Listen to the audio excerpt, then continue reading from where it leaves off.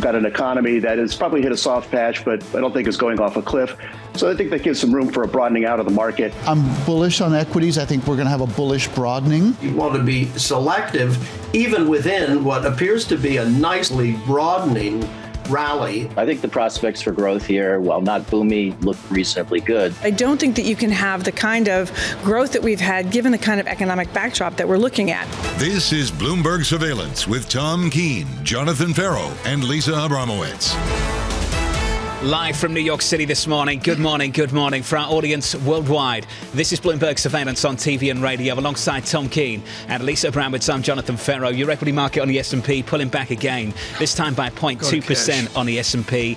Last year's big winners, TK, some of yesterday's big losers, turning 2023 upside down to start the new year. Let's go technical, and we're nowhere near support right now. We pulled back yesterday. I noticed, John, as you did, and Lisa, I think, led on this, frankly. There's a fair amount of hysterics out out there about a first day OMG, the worst since time began. It was of biblical proportions.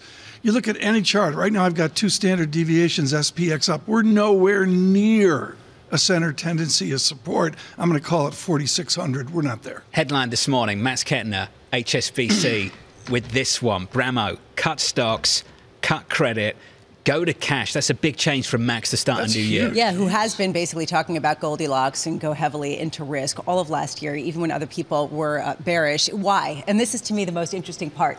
Is it because he actually sees earnings going down or there not being this disinflationary trend? No. What's the fly in the ointment? He said sentiment and positioning. That's the entirety of it, and that seems to be the anti Goldilocks. Yeah, and, and Tony Dwyer at Canaccord, I mentioned this yesterday, talking using the word giddy.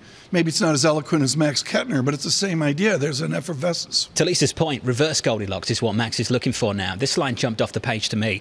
We continue to believe that from a multi asset perspective, the biggest risk is not from a sudden deterioration, but another repricing in rates. TK, that final point, a big point. Yeah, the repricing in rates is there, and it's percolating this morning. Antoine Gara over at the FT, killing it on an analysis of private equity and private credit.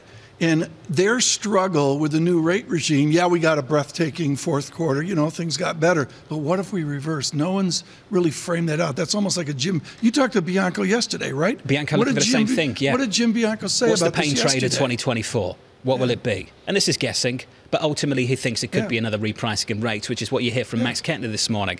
Bramo, next stop, Fed minutes. Did they, didn't they discuss cutting interest rates sometime soon? I mean, first of all, does it matter? Because frankly, how much credibility does this have? What I find more interesting is the market reaction. How much are people poised to sell bonds if there is any pushback whatsoever of possibly cutting rates this year? I will just say that right now, even Neil Dutta, who has been talking about this immaculate disinflation, came out yesterday and said six cuts seems like too many. Everyone's pushing back. So this is sort of the sober January as everyone comes back, reassesses, okay, adults in the room, let's get back to work. This seems a little over the skis. A sober January on Wall Street. something like that. That's what this is. Okay. Yields pushing higher again this morning. Here's the price action for you. Yields up by two or three basis points on a two year, on a 10 year by three or four to 396.68. Equity futures lower, negative by 0.2%. I talked about turning 2023 upside down to start 2024. Lisa, you saw that in foreign exchange as well. Yeah, you saw the biggest uh, rally in the dollar going back to March. Again, this sort of retracing of some of the trades from last year, especially because people were basically saying that the ECB wouldn't really have to cut rates, and people are now saying, yeah, right. All right, here's what we're watching today. 8:30 a.m. Richmond Fed President Tom Barkin is speaking to the Raleigh Chamber of Commerce. Does he push back against rate cutting? Does he lead into some of the softness that we're seeing? 10 a.m. we get ISM manufacturing and JOLTS job openings. ISM manufacturing. I know that John, you've been really in on this, and the fact that we've seen a steady contractionary state in manufacturing since October of 2022, more than a year, really speaks to the disinflation in goods, not services, that has driven some of the recent sentiment. At 2 p.m., it is the uh, FOMC a meeting minutes. Did they, didn't they, does it matter? What it matters is how much does the market reprice to any assumption that the Fed doesn't want the market to price in six cuts, right? I mean, that to me is how much do people have a trigger she just said finger, a trigger finger to sell bonds in response to any pushback. What's this one doing at 2 p.m. Eastern Time? He's sleeping. I'm Reading the reading, Fed Ca- minutes. I'm reading Cameron Dawson's research note at 2 p.m. Okay. this afternoon. Mm, sure you are. Cameron Dawson joins us now, Chief Investment Officer at New Edge Wealth. Cameron, good morning and Happy New Year. Good morning. Happy New Year. Are Year. you sitting on the fence? Because I'm reading this first line in your work. It says we could have a scenario where both bulls and bears are right this year. Which one is it? Well, I think that we have to be nimble because I believe that there's going to be a scenario where you could very easily see people get drawn even further into this market. We think positioning is overweight, but not quite as as extreme as it was in times like 2021 or 2018. So you could see some pain get pulled in. But the other reality is that you could see a rationalization of the fact that sentiment is very extended and that valuations are extended. So it's how you react to market rallies or market corrections, I think, is how you will win in 2024. We mentioned HSBC, so let's talk about the work coming from Max Kettner this morning. Here's this line biggest risk, another repricing in rates. Do you agree with that? 100%. That's the pain trade. The pain trade is that everybody thinks that inflation is fully vanquished and then gets surprised if things like oil prices move higher, wages end up being stickier than expected, rates move higher, and then all of those stocks that re rated in the last two months up 30, 40% because now they're not worried about their balance sheets anymore. Balance sheet risk becomes an issue again, and you get a reversion of a lot of the names that were lower quality that happened to lead at the end of last year. The modeled out earnings are 9%, 10%, dare I say double digit 11% earnings growth for this year. Is that in the price now, or is that going to develop out in the first half of next year? It is in the price now, and I think that we always have to think about the path of 24 will be pricing in what actually happens in 2025. So if a recession looks more likely in 2025, that's when you'll start to see those earnings estimates get cut into the out years. The thing that's the biggest challenge for us for earnings estimates in 24 is the expectation that top line growth will re-accelerate in a year where nominal growth because of inflation is expected to decelerate. Can you see that happen at the same time where we get less inflation, agree. less pricing power, Right. and yet we get a big acceleration in top line? So wait for the romance of Apple and Microsoft. If you look at staples and discretionary and all, you you got a model out there. What? You go back from a six percent wonderment of growth back to four percent revenue growth. Yeah, very likely. And there are idiosyncratic pockets Yeah. where you're going to see improvement. You know, healthcare had its earnings down almost 20% last year. That will flip positive this year just because of easy comps. So that's where we're trying to look outside of just the, the, the macro drivers, Staples being a great example of one that can't get away from this inflationary dynamic and look instead to the more idiosyncratic opportunities. Are banks idiosyncratic opportunities? And I ask with JP Morgan at new record highs. Yeah, I mean, you've seen such a huge re-rating. Of course, there's pockets of banks where there is still inexpensive areas. You know, banks do have the tailwind of a less inverted curve, hopefully a reopening of capital markets. But then we have to consider things like BTFP. Does it get reextended? Basel III endgame. All of these things that could be big drivers of bank earnings or at least appetite for bank risk as we go through 2024. It sounds like you're not buying the rotation story. I am buying the rotation story. Yeah, I, I, think that we have to have an open mind that even great companies with great balance sheets, with near monopolies, could still underperform simply because positioning is so crowded and because right. valuations are so elevated. That's the smartest insight I've heard in the last 48 hours. Are we going to have rotation or not?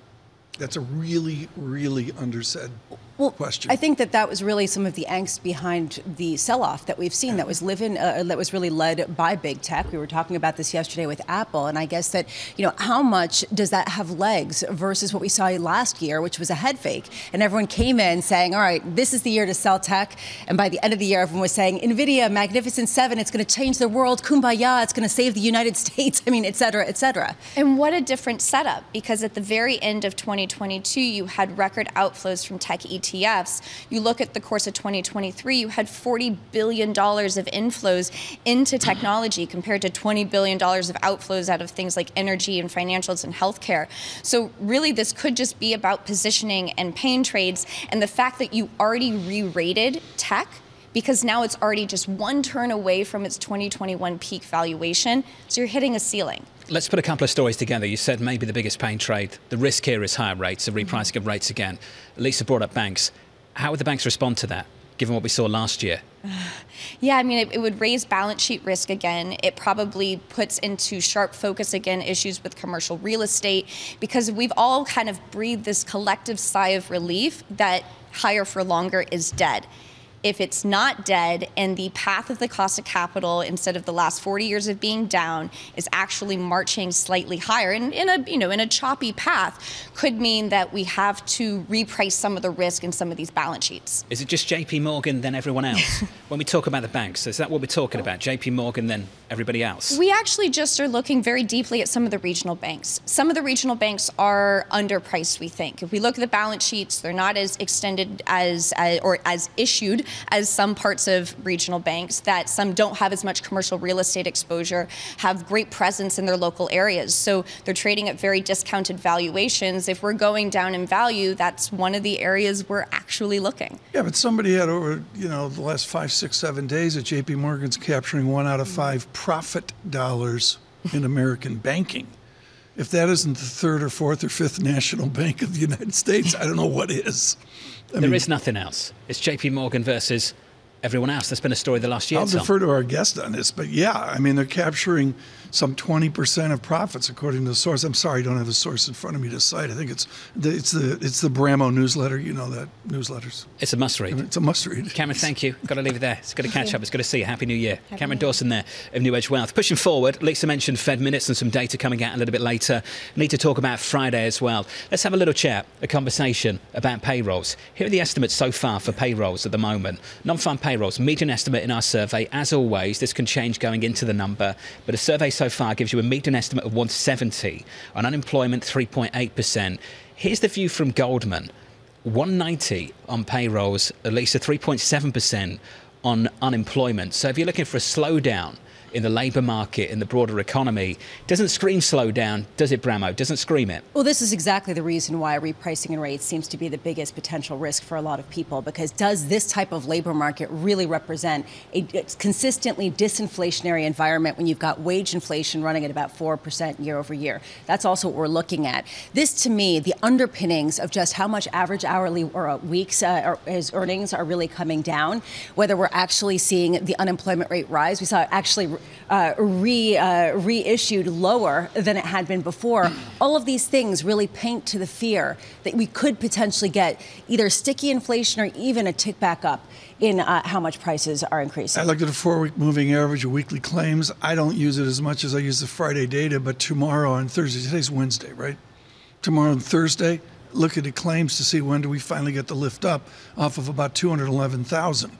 I mean, that it, it, five years ago, John, if you said 211,000, that's a gift from God. Uh, look, claims, that was the guide for 2023, I think. And Lisa mentioned the manufacturing guy, Sam, and right to point out that it's been sub 50 since late 2022. So it's been in contraction territory. That tells you something about manufacturing. Of course, it's worth still having a look at, but ultimately, it didn't tell you what was happening elsewhere in the US economy. Yeah. And Lisa, if you just focused on claims, in and around 200k, that just spoke to the resilience and sometimes the strength of the US economy through last year. And this is a reason why Nathan Sheets pointed to this divergence that a lot of the disinflation has been driven by goods disinflation. He put out a note uh, yesterday basically saying uh, that right now, given where service inflation is running, it's around 4%, and it's way above where yeah. the Fed would need it to be. This is the reason why people are worried about that stickiness. John, I go to the ECI year over year. This is wages and benefits combined. It's just one of many statistics. And the answer is normal's two and a half, three percent. We went up to 5%. We've only rolled over to just about 4%. We got a ways to go to bring wage inflation down. Have Fed speakers taking a day off, Tom? You noticed that? I'm just looking on the calendar. Yeah, well, they're probably waiting for the five-year auction. Off. No, Tom Barkin. Barkin. he's speaking. He's speaking twice this today. Okay. Twice so he's today. really he's I've representing Logan, Logan and yeah. Bostic. Well, you know, yeah. they're starting the year Just slow. a quiet start. Maybe. Okay. We might add some in there. Do they have like non-voter day where on one day all the non-voters speak? And people don't listen? Or Tom they... Barkin. Well, it'll listen anyways. Right. Tom Barkin's a voter. Just want to say, voting member. Yes. New round of voting members. Yes. We can talk Goolsbee, about. I think, is off. He's been silenced. Mm, okay. Goolsbee's been I doubt it. I doubt it. Coming up in the next hour, Tracie McMillion of the Wells Fargo Investment Institute to weigh in on all of this. To kick off your training day, Equity futures pulling back just a touch, adding to the losses of yesterday. We're negative 0.2% on the S&P. From New York this morning, good morning.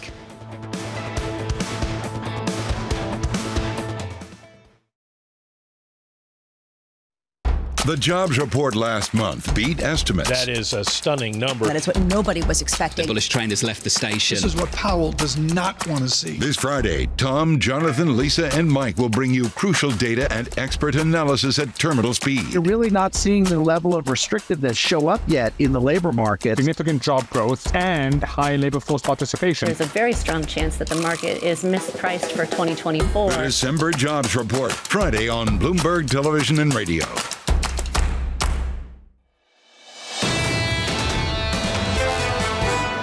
President has said we are we are ready to act in self-defense if needed. I'm certainly not going to get into specifics of our uh, military operations, but the president is always and has always been committed uh, to our service member and protecting our service member uh, abroad, and that's what the president's going to be committed to.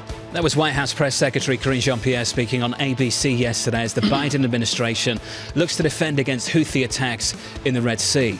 The latest this morning, TK, according to Hamas, a senior leader killed by Israel in an explosion in Beirut, raising fresh concerns, of course, about a regional conflict taking place. Not the time for a civics lesson on the distinction between Hezbollah and Hamas, but the answer is this is a triangulation Lisa talked about uh, on January, uh, December 7th, whatever the date was uh, here in Israel. And, and, and that is this is triangulation between Gaza, the West Bank and now up to the northern border in Lebanon. It's a long ways away from Gaza. If we're worried about escalation, we're not seeing a big move in the commodity market. Let's get up the screen and go through the board together. Starting with Brent and WTI. WTI actually down on the day now. Negative on the session by 0.2%. Lisa, $70.25. Brent crude basically unchanged, 75.90. And we felt this tension yesterday where initially crude popped in response to uh, Iran sending a warship over to the Red Sea. And then the risk aversion took hold. So here's the question Does that reverse at some point, or really is the risk aversion and incredible supply from the U.S. going to dominate in an otherwise somnolent commodity market? It's really surprising. To your point, Bramo, yesterday crude was up close to 3% at one point. Tom ended the day down by almost two. Yeah, I, I thought the under 70, now $70.27 on West Texas Intermediate, but the 69 at print in the blur of yesterday, you know, the enthusiasm about a tough stock market and what bonds did. Uh, to see oil pull back, I think, is notable. I mean, it's all there is uh, to it. Joining us now on our many politics, Terry Haines. He's founder of Pangaea. Uh, policy.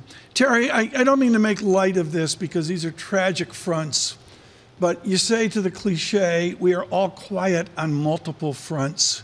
Is America ready for multiple fronts of defense and offense in military?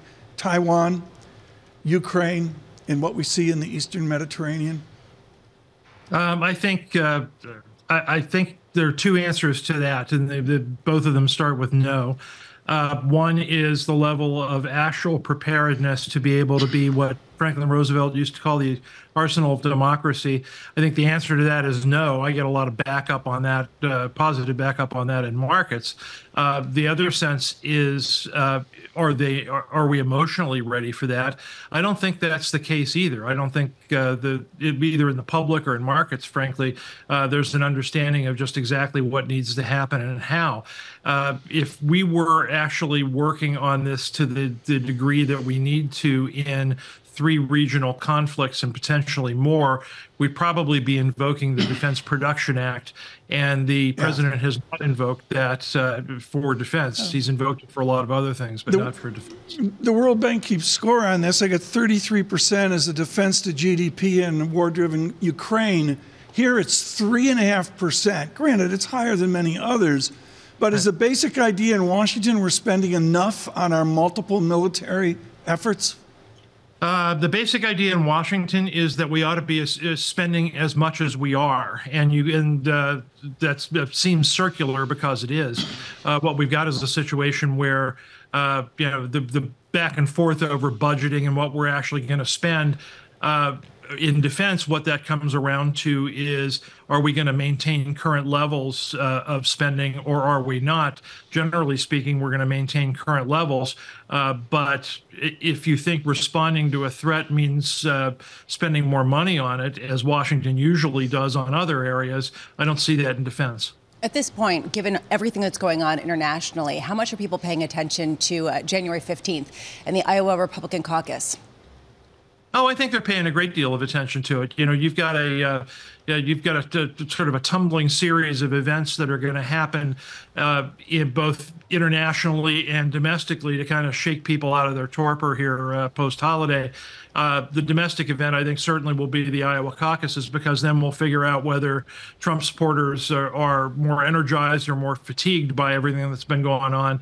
Uh, internationally, I think we kick off with the uh, with the Taiwanese elections, uh, which stand to, to create additional market jitters. Frankly, no matter what happens, if uh, the independence candidate wins, then you know China will bare its teeth even more. But if the independence, excuse me, if the uh, uh, more assimilation uh, based candidates win, uh, then people are going to be confused about what comes next. So either way, it's going to be a problem. You said that people have been a bit complacent about some of the political risks. This always seems to be the charge that markets need to wake up to the political risk, and then uh, politics happen, and markets go the opposite direction of what everyone thinks, and then can realize that they absolutely should have ignored it. Why is this time different?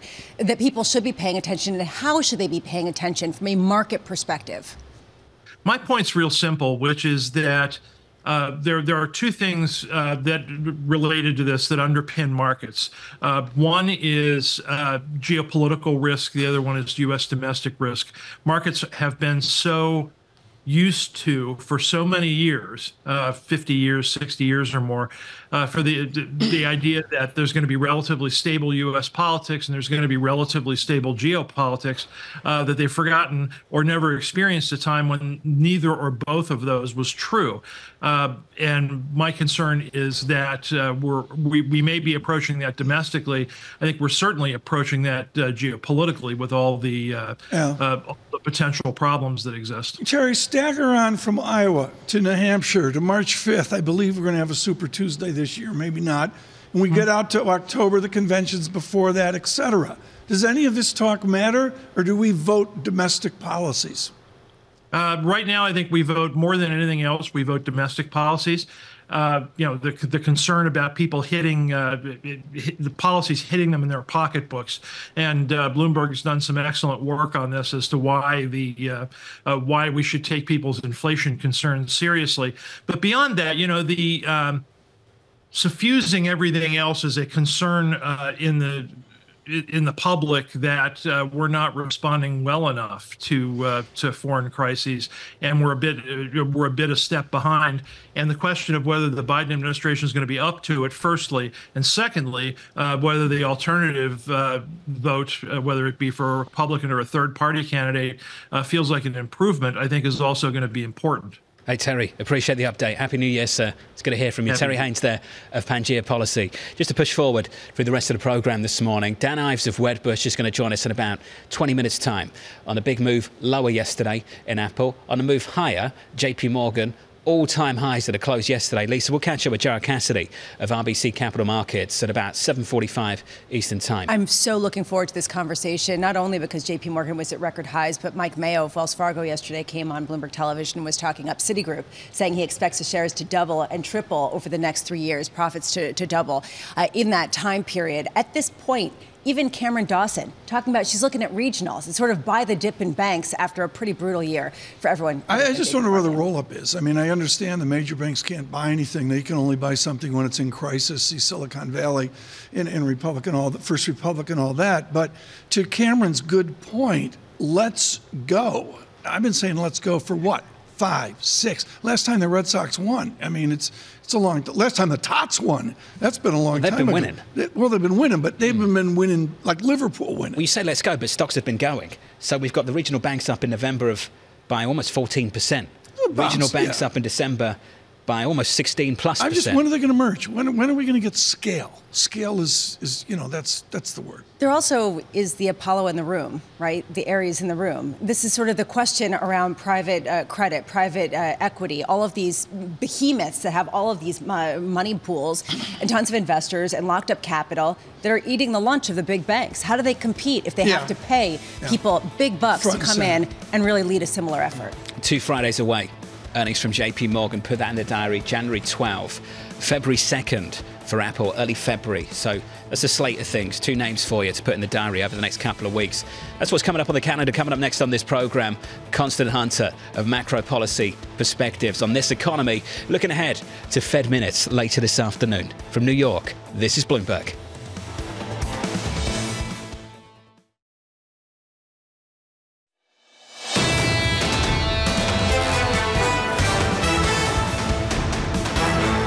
Live from New York, here's the price action for you on the S&P. On the Nasdaq, equity futures looking like this. We're negative 0.3% on the S&P. On the Nasdaq 100, down by 0.4. The small caps pulling back by almost three quarters of 1%. The Nasdaq with the biggest one-day loss since October, which incidentally was the last time we had a weekly loss in this equity market on the S&P 500. So the Nasdaq turning things upside down from the end of 2023. Big gains turn into some marginal losses for the equity market, and just throwing some fuel on the fire Max Kettner this morning of HSBC. Some interesting calls to start the year. Yesterday, a downgrade on Apple from equal weight to underweight over at Barclays. This morning, HSBC, Lisa, cutting stocks, cutting credit.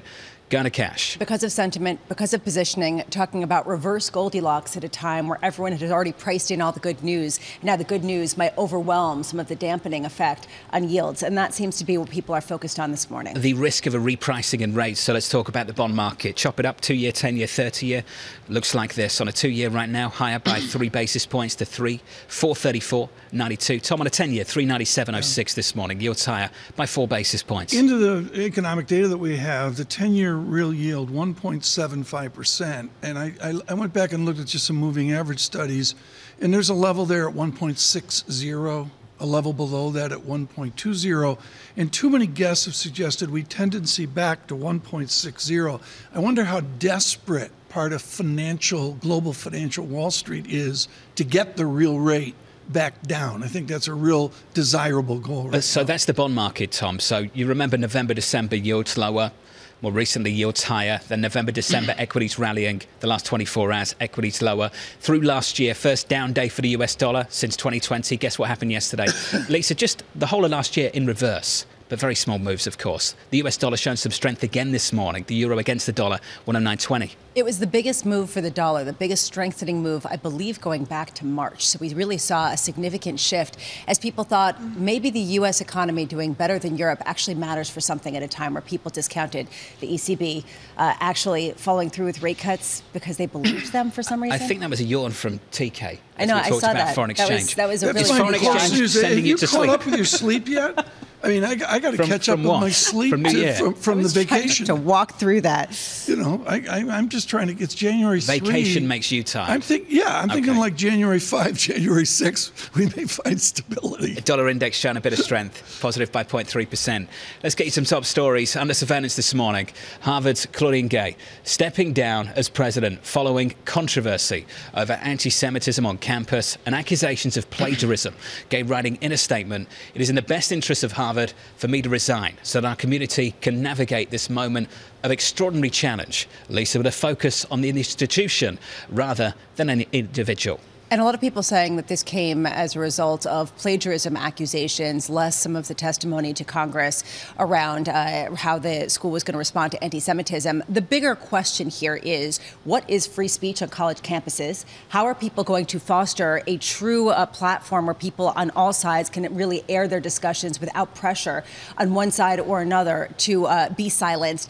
And this, to me, is the discussion that Yeah. we're not hearing loud enough from some of these colleges, how they're going to move forward on that level. If somebody said to me, What are the five most important conversations of 2023? There's Mark Rowan of Apollo coming off the dinner of the UJA in New York, which he heads, which he spirits, talking about his University of Pennsylvania. My guess is, John, this doesn't end with Harvard. The billionaires out there, the philanthropists of these schools, they're looking at this school by school. Yeah, but we shouldn't just make this about rich guys taking on leaders at universities. This is about something much, much bigger than that. Sure. Lisa, you mentioned what this is all about free speech. And what we've seen on campus over the last 10 years, in the words of Mark Rowan of Apollo, preferred speech, not free speech. And to your point, they've got to figure this out. And, And- figure it out fast. And frankly, that's what interests me more because if it's just people pulling their their uh, their checkbooks away from the colleges, that's not free speech either, right? That's so. At this point, how do you have a conversation about what is truly a way to enable a diversity of thought without penalizing people, you know, shadow banning? So what's doxing? the formula at your University of Chicago? They the, the acclaim nationwide is Chicago has nailed this discussion. Why are they different than the other schools? Well, there's a history of uh, not necessarily having a partisan take, but also there is no university stance on any political issue. They do not come out and say, we stand with this, we stand Mhm. with that. And so they didn't have to come out and take a stance. Everybody speaks for themselves, and people can have independent opinions. And more on that story a little bit later. Let's get you the next story. New concerns of a wider conflict after a senior Hamas leader was killed in Lebanon's capital of Beirut. Six in total are dead after a drone strike in a city suburb yesterday. This marks the most senior Hamas leader believed to be killed by Israel.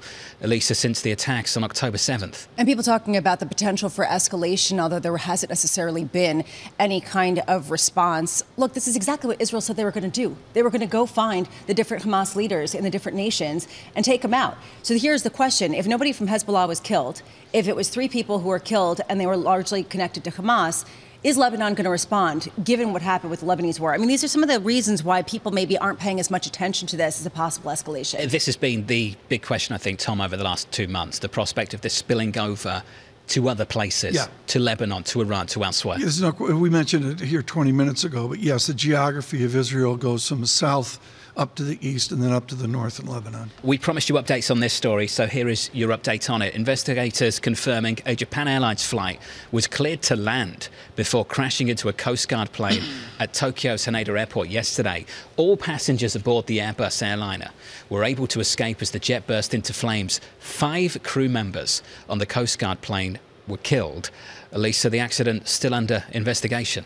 All I can say is when you read the stories of survival of the people who are on that plane and what the crew members on the plane, on the uh, passenger plane, did to get them out, they deserve a medal, honestly. You know the video that we all ignore that plays before the start of a Yeah, flight? yeah. Yeah, I f- I think you should probably pay attention to that. All know, right. this- the- no you, joke to actually here. read those those sort of uh, exit S- s- strategies. Seriously, given the near misses we've had in this country, Yeah. in America, what took place in Japan in the last 24 hours, isn't that the ultimate fear, Tom, here in America, based on what Yeah, we've heard no from several reports I mean- across airports in this country? You're more eloquent than I am. I alluded to it yesterday. I thought I was pretty clumsy about it, but you nail it. It's a really, it is an American thing. Frankly, I think it's a European thing as well. These are uh, huge, huge, intractable budgetary issues. This is about spending money. That investigation continues, Tom, but I think elsewhere that's a tragic wake up call for a lot of people elsewhere too. On the American economy right now, Constance Hunter joins us working with Julia Coronado, Macro Policy Perspective. She is a senior a- advisor. Constance, I love your note where you fold in our economics within our finance. How linked right now is the economics of Coronado and Hunter to what we see in the stock market? Well, and they're in they're linked because obviously, they're, as you were talking about earlier, they're linked because of what's going on in bond prices. They're linked because we have um, we saw a pullback in wealth, of course, in the third quarter. Expectations of an increase in the fourth quarter. This impacts how people feel about the economy. It impacts how they're going to spend, and of course, that is the big question. Sort of what Right. happens with the that that intersection of weaker economy, lower uh, inflation, and how the Fed responds. I've had the privilege of talking to Alan Greenspan about this since the idea of, you know, measured, the concept of an incremental Fed, which I'm going to editorialize, Alan Greenspan invented. How urgent is it for them to do one or two of five or six rate cuts now to assist Wall Street because rates at the Fed are sky high? Well, I don't think their goal is to assist Wall Street. I think their goal is to assist Main Street. And so if they do those cuts, they're going to be to assist Main Street. And I think that it would be beneficial to Main Street if they do them in March. And it is our view Why that not the, January? because I don't think the data quite gets them there yet. I don't think it quite gets them there. They need to see a six month annualized rate of 2% on their key metrics, whether that's core PCE, PCE, right? They, they need to see that in order to move and maintain their credibility. The characterization of the balance of risk has clearly shifted in the last 12 months in line with the data. It makes perfect sense. What do you make of one, the recent communication around rate cuts, and two, how would you expect that to show up in the minutes later this afternoon? Well, look, there. What we're not going to see in the minutes is we're not going to see talk about rate cuts, right? We're gonna. That's going to be not part of the minutes. They were they were part of the forecast. They're they clearly were, as they have said, were focused on other things. The minutes are going to show that they were focused on other things. And I actually think that the minutes, while while everybody's going to watch them for little signs of did they did they slip in a, a, a, a sort of a little com- sly communication, what we need to focus on is what's happening with the data, and what we need to understand from the Fed is is it only inflation? Or are they taking into account a slightly softer um, economy coming off of that blockbuster Q3, slowing down in Q4, and what we anticipate is going to be a little bit slower growth in Q1?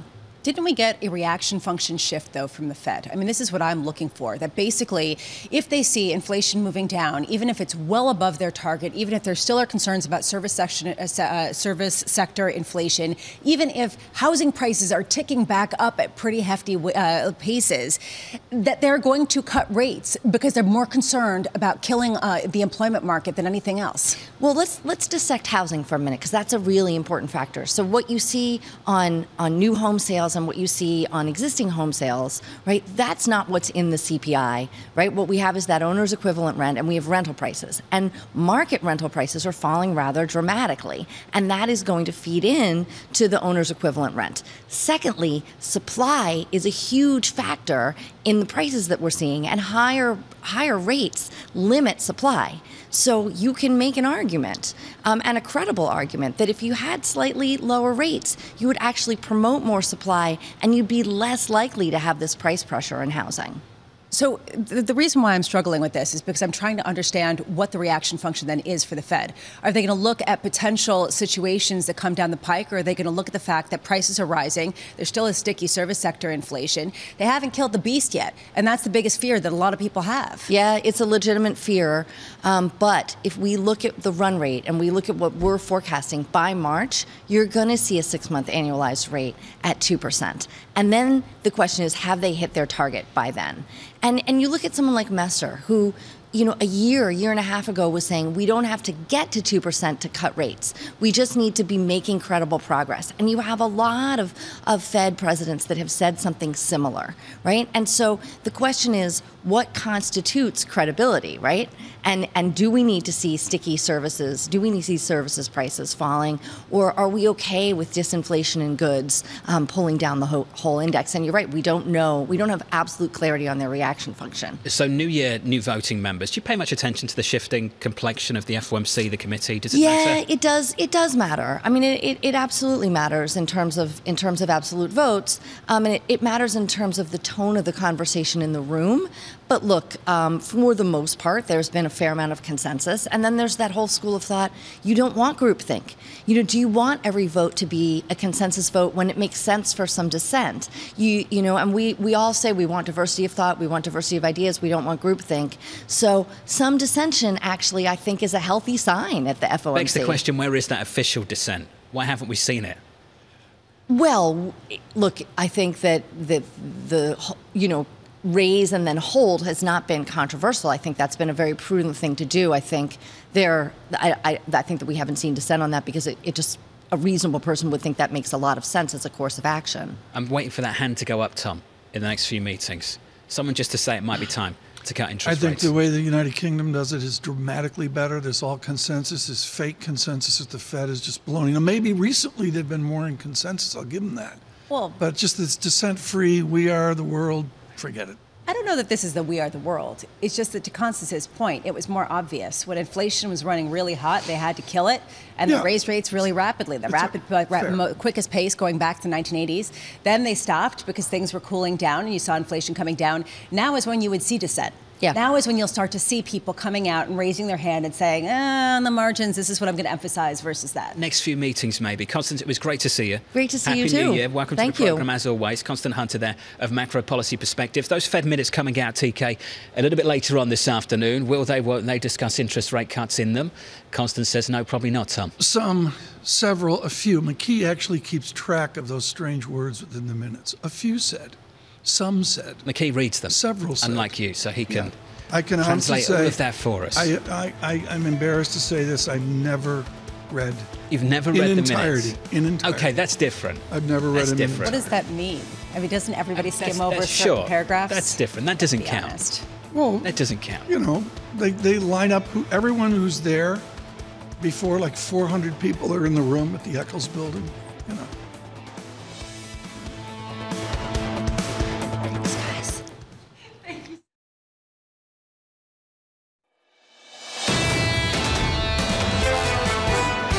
Last year tech was was fabulous in its performance because it had been so brutalized in 2022 when the bears sold all of tech the long duration they sold because they were worried about refinancings but they sold the good stuff that was highly profitable look for babies that get thrown out with the bathwater in downdrafts to add to positions that you're building. Uh, and in, in, essence, what, what you want to avoid is uh, just blindly buying dips. You want to be selective. That was John Stoltzfus of Oppenheimer Asset Management on the tech sector. One stock to watch this morning Apple. The tech giant falling 3.6% at the close, its biggest one day drop since September. The drop following Barclays downgrading Apple to underweight. It was the quote we talked about in the last 24 hours a fair bit. The continued period of weak results coupled with multiple expansion. Tom, in the opinion of Barclays, that is not sustainable. Let's get right to it. That was clearly the story today. It was just. Do you agree? It was just one of the reasons why we went down yesterday. Yeah, but, one. You know, it was not the tangible. reason, but one of. It was tangible. There we are. Let's get right to it. This is so important right now. Dan Ives joins us. He is a bull on any number of technology companies. We wait for him to come out on controlled data here and with a buy recommendation at some point. That's a little bit of history there. Dan Ives with Wedbush. Dan, what's a channel check? What exactly is a channel check? I just I just don't see it. yeah, I mean, look for us in terms of our Asia supply chain checks, really trying to focus on what demand looks like in terms of the suppliers for iPhones. There have been no cuts from an iPhone perspective as of date, and I think that's that's bullish. And ultimately, that shows demand through holiday season has actually been on par to actually better Right. than expected. And, and to me, that's what I focus on rather than the haters continue. Okay, but Dana, tell okay, you've been you've been gracious about this, and they've been gracious about your 2023 ginormous success. But when you do a channel check, are you counting iPhones? Are you over in China guessing the manufacturing line? Are you in the store on Madison Avenue looking at how many people from Lisa's family are buying Apple loot? What's a channel check? Yeah, all the above, Tom. I mean, we, we feel we're in Apple stores around the country, around the world. We're also talking to suppliers, basically trying to triangulate to what we think units is going to look like for the quarter and for the year. And that's how we've done it from the beginning. I mean, over the last decade. So, and, and it's one, you're always going to have differing opinions. You talk about the Barclays uh, downgrade. We continue to stick with our checks that, that has navigated us, you know, a lot more right than wrong. I think when you look at iPhone 50, it's easy to take shots, you know, relative to, to maybe some of the fears out there, especially fire in a crowded theater, first day of the trading, you know, year. I, it's a Groundhog Day. You know, we saw it last year as well. It's underestimated. 250 million is the install base upgrade cycle that's due in that window, has an upgrade in four years. Dan, let's get into it. You mentioned Barclays, Tom mentioned it too, I mentioned it. So let's get to that line. The continued period of weak results coupled with multiple expansion, not sustainable. In that is a statement of fact, and then there's an opinion at the end. The statement of fact is iPhone sales. They haven't been great for the last 12 months. That's a fact, yet it's been coupled with multiple expansion. Also, a fact. The opinion piece is they're saying it's not sustainable. Are you suggesting that it is? Yeah, so what I'm suggesting is that the next three to four quarters, you're going to have iPhone growth. You have growth coming out of China, despite the fears and uh, obviously a lot of the bear noise. And I think the most important thing is services. I mean, I think services is going to be teenager type of growth. That's key to the multiple expansion story.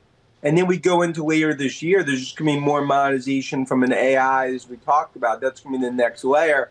I think it all results and this is going to be viewed as more of a golden buying opportunity rather than the start to you know hit the uh, elevator exit. How much, Dan, is your bullish call uh, predicated on this idea of rate cuts, the idea of rates coming down as much as people think?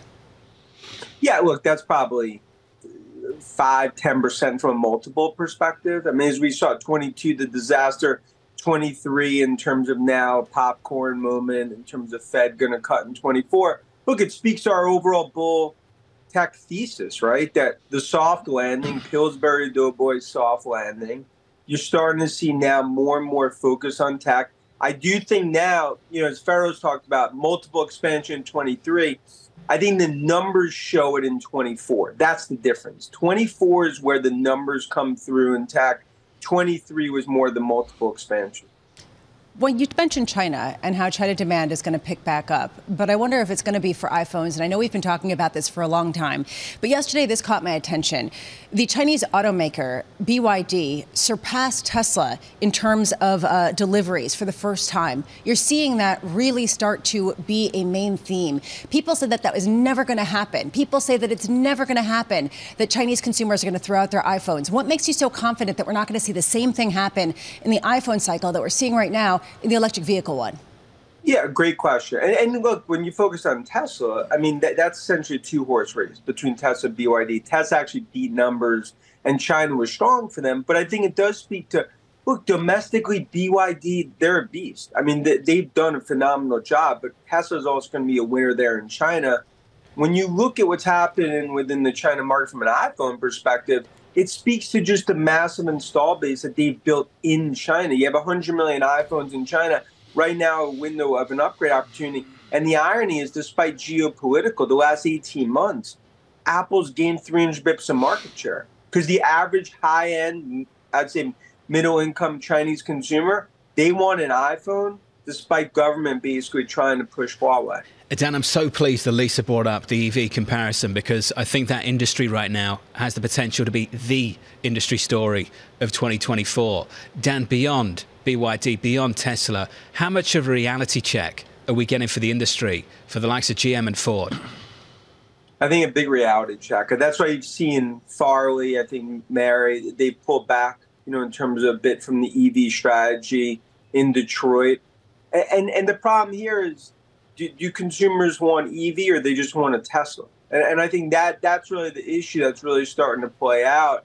And, and at this point, Tesla's doubling down on EVs. But no doubt, there's been, I think, much more moderate demand that we're seeing across the board and uh, you know, I think as that plays out, you're going to see others peel back while others go more aggressively, like the likes of the Tesla. I wonder what you think the end game actually is. If you speak to the leadership at GM, at Ford, they've been generous with their time. We've had this conversation with them. They talk about a change in execution, maybe not a change in strategy.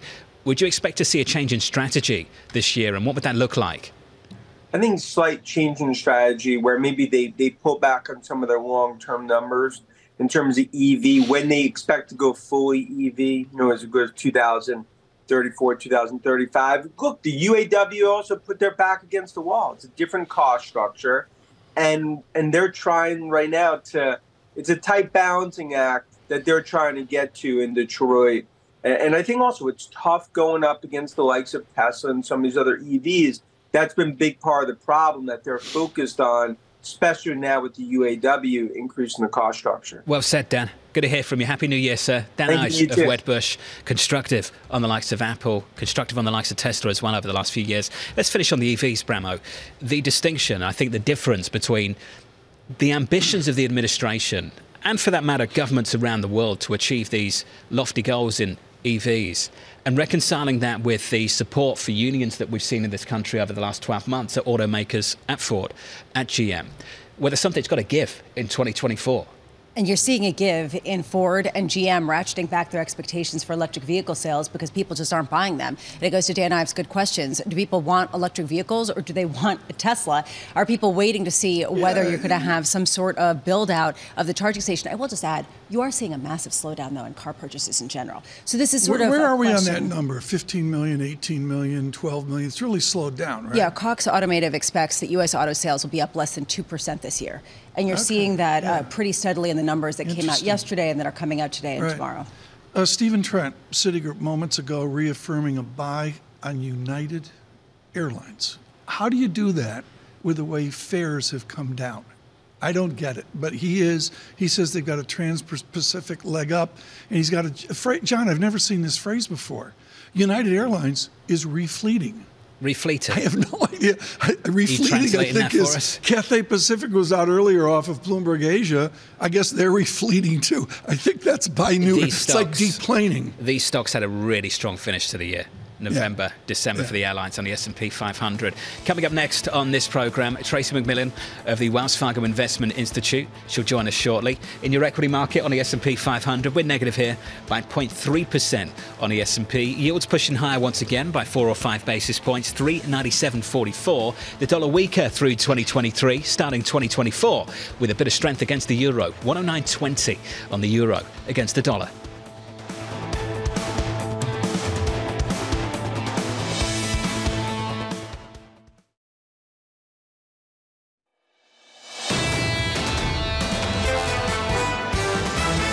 Got an economy that has probably hit a soft patch, but I don't think it's going off a cliff.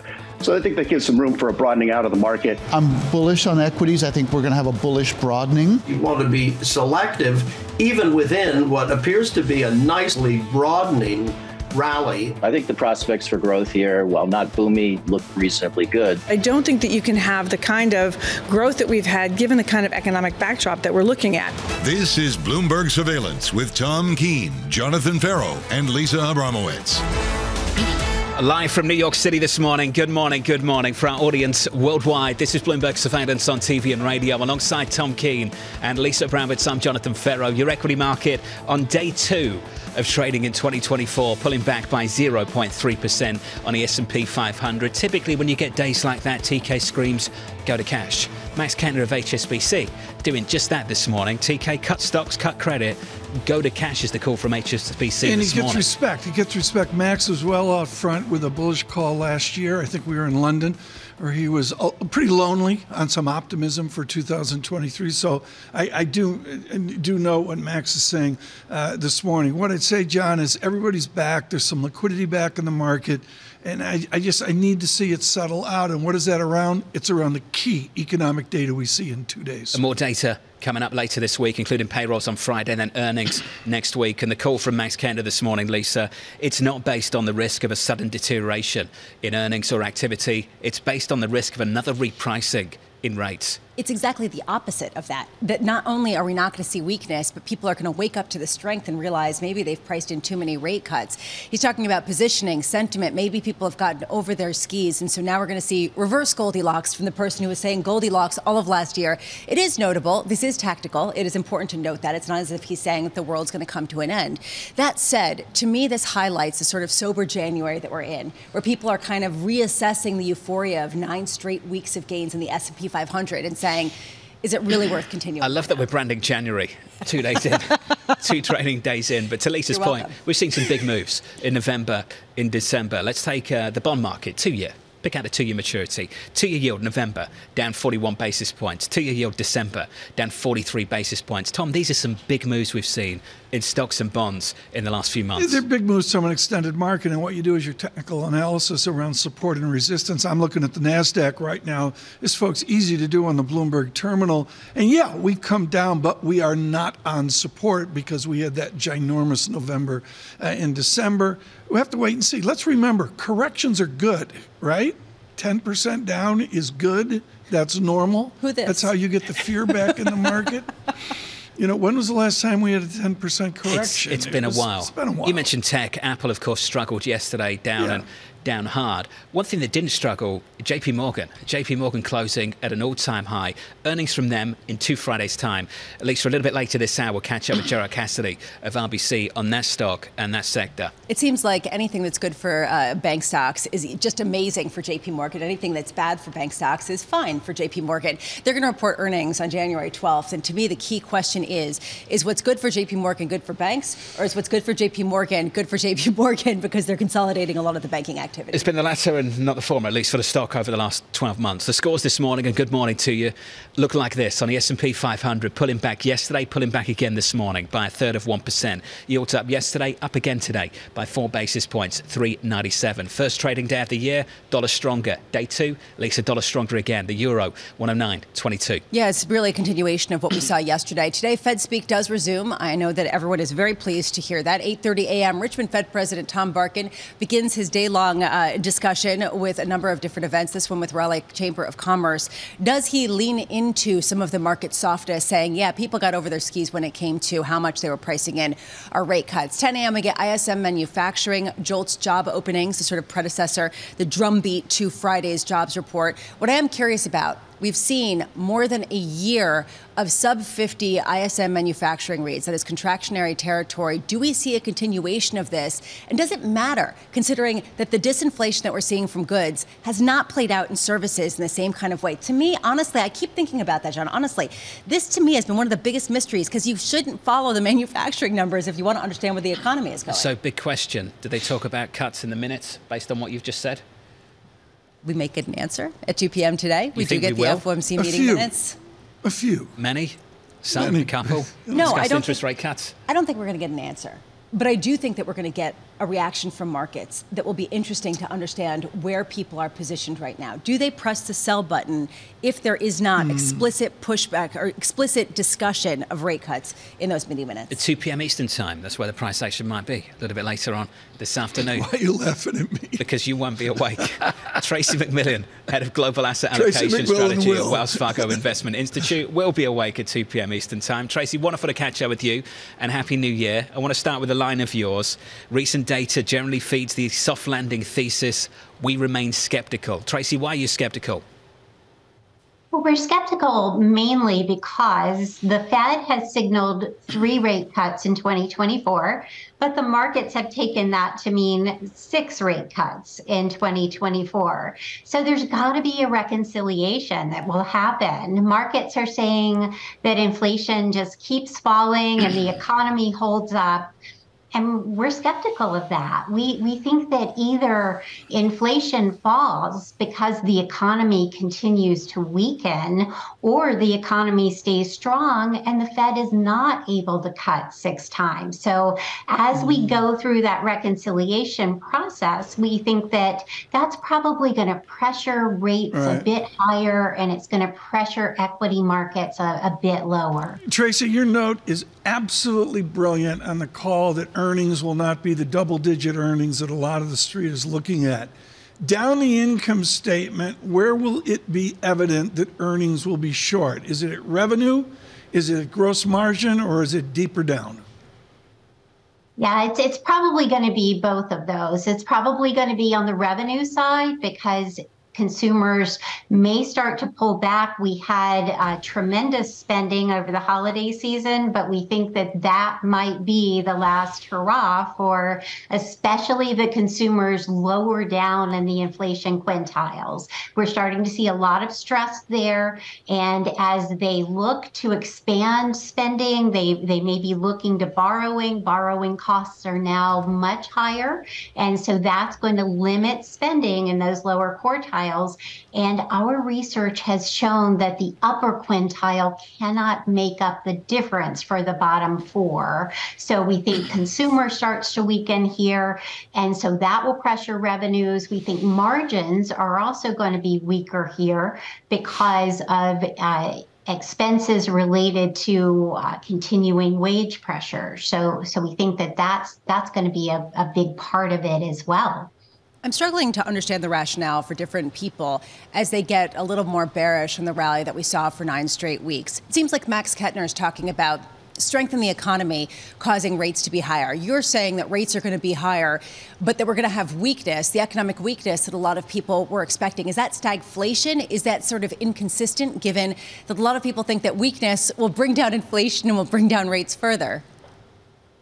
Yeah, so maybe one thing that's being missed here is that lower rates um, really started to take hold when the Treasury went to a shorter duration issuance.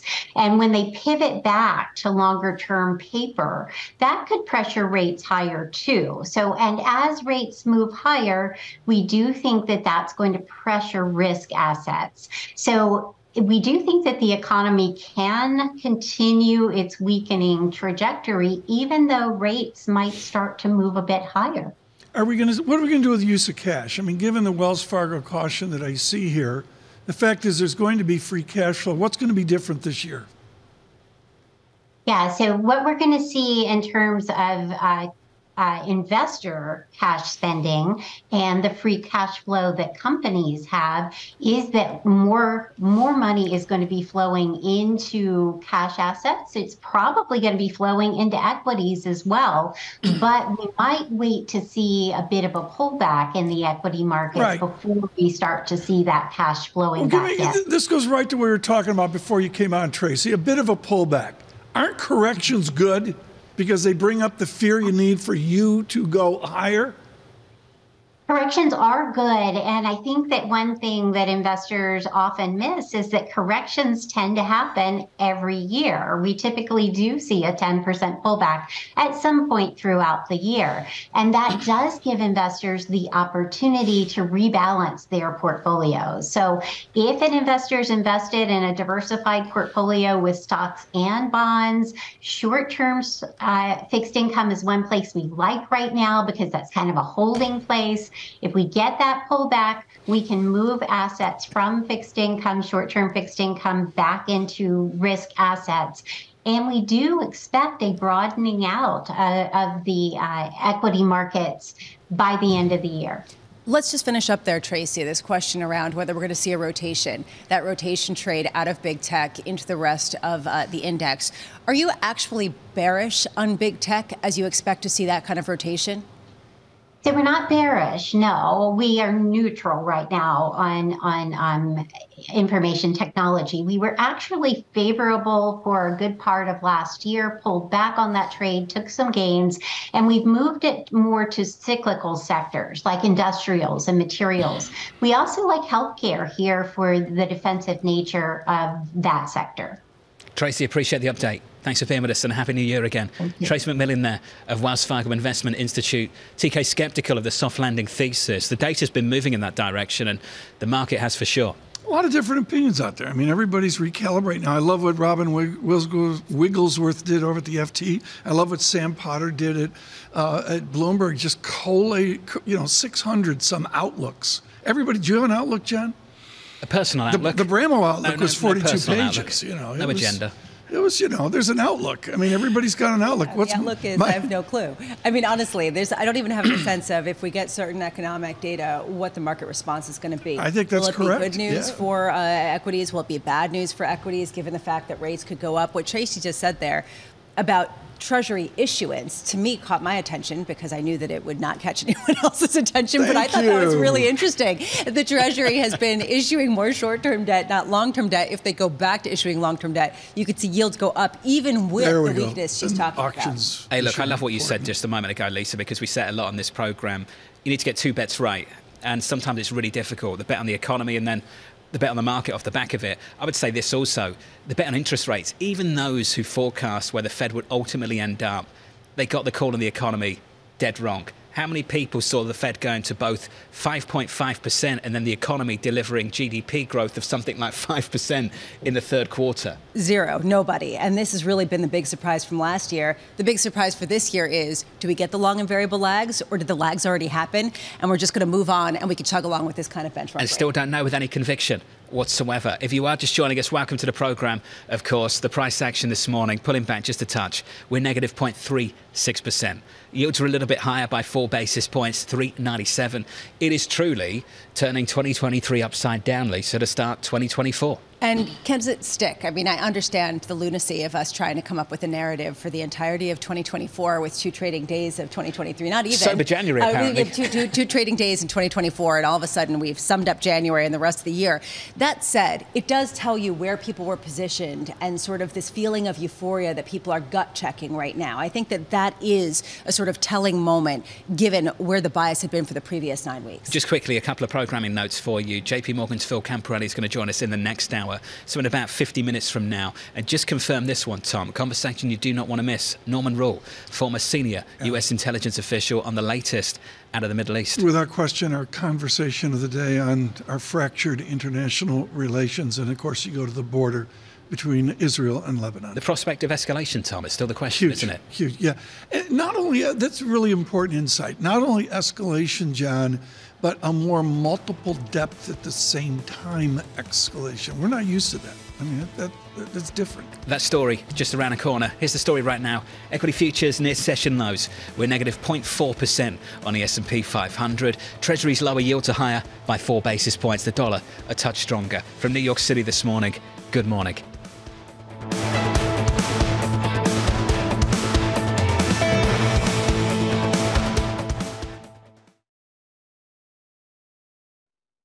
The jobs report last month beat estimates. That is a stunning number. That is what nobody was expecting. The bullish trend has left the station. This is what Powell does not want to see. This Friday, Tom, Jonathan, Lisa, and Mike will bring you crucial data and expert analysis at terminal speed. You're really not seeing the level of restrictiveness show up yet in the labor market. Significant job growth and high labor force participation. There's a very strong chance that the market is mispriced for 2024. The December jobs report, Friday on Bloomberg Television and Radio.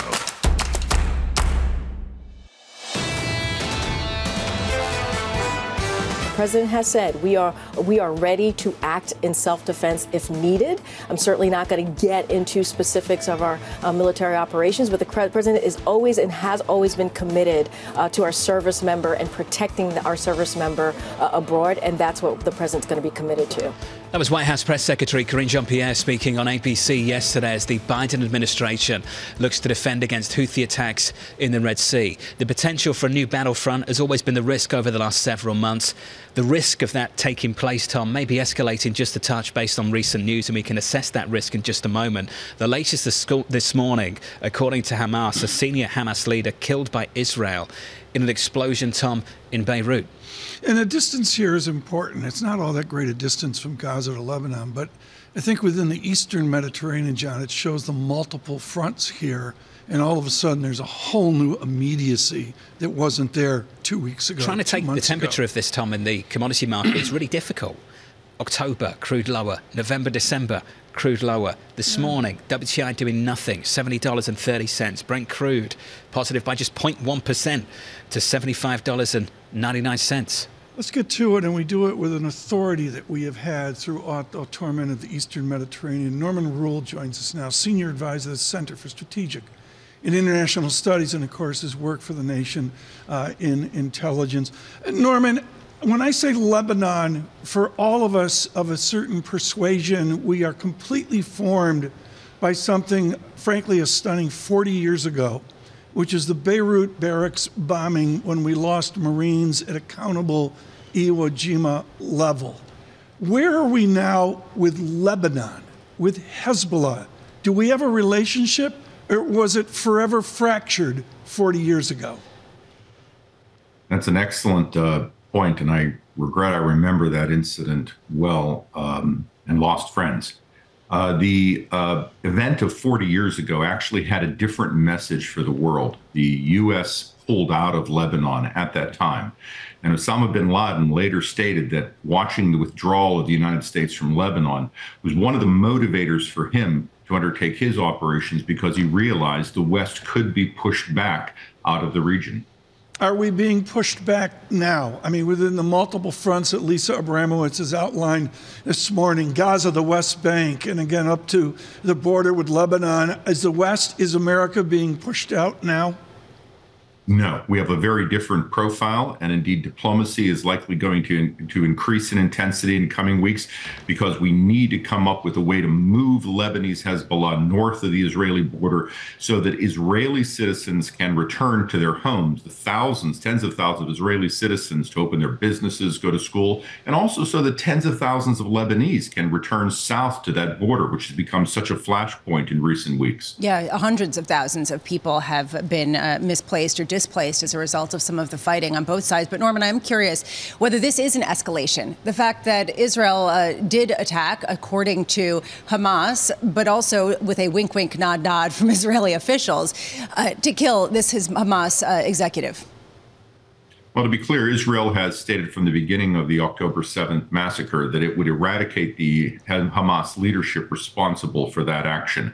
And therefore, this is no surprise. I think what you have to look at is this drone attack, which Israel has not admitted but is understood to have under, undertaken, took place in an incredibly security conscious neighborhood. And it demonstrates an exquisite and dynamic intelligence capacity. So, as Hezbollah thinks about its counter, its, uh, its response to this, it's got to think about about what is known around us and what can we get away with and what will happen to the people who might be involved in that attack against Israel. Do you have any sense, Norman, of what the conversations are like with Hamas, with Hezbollah, with the Iranian leadership, given the fact that a lot of people think that they're taking some cues from Iran, that there has been funding from Iran, that you have the Iranian warship going to the Red Sea, and the Houthis, also Iranian backed, uh, making noise and trying to interrupt Western shipping lines?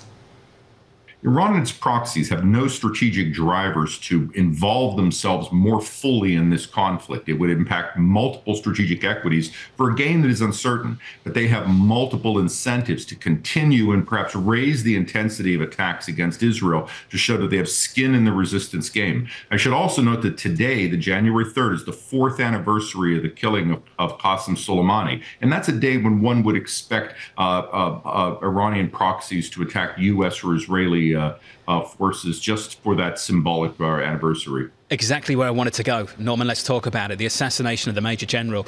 It's easy to forget that it ever happened because several weeks later, many weeks later, we were all drowning in a global pandemic. What has happened since then? With the relationship between the United States and Iran, between two different White Houses?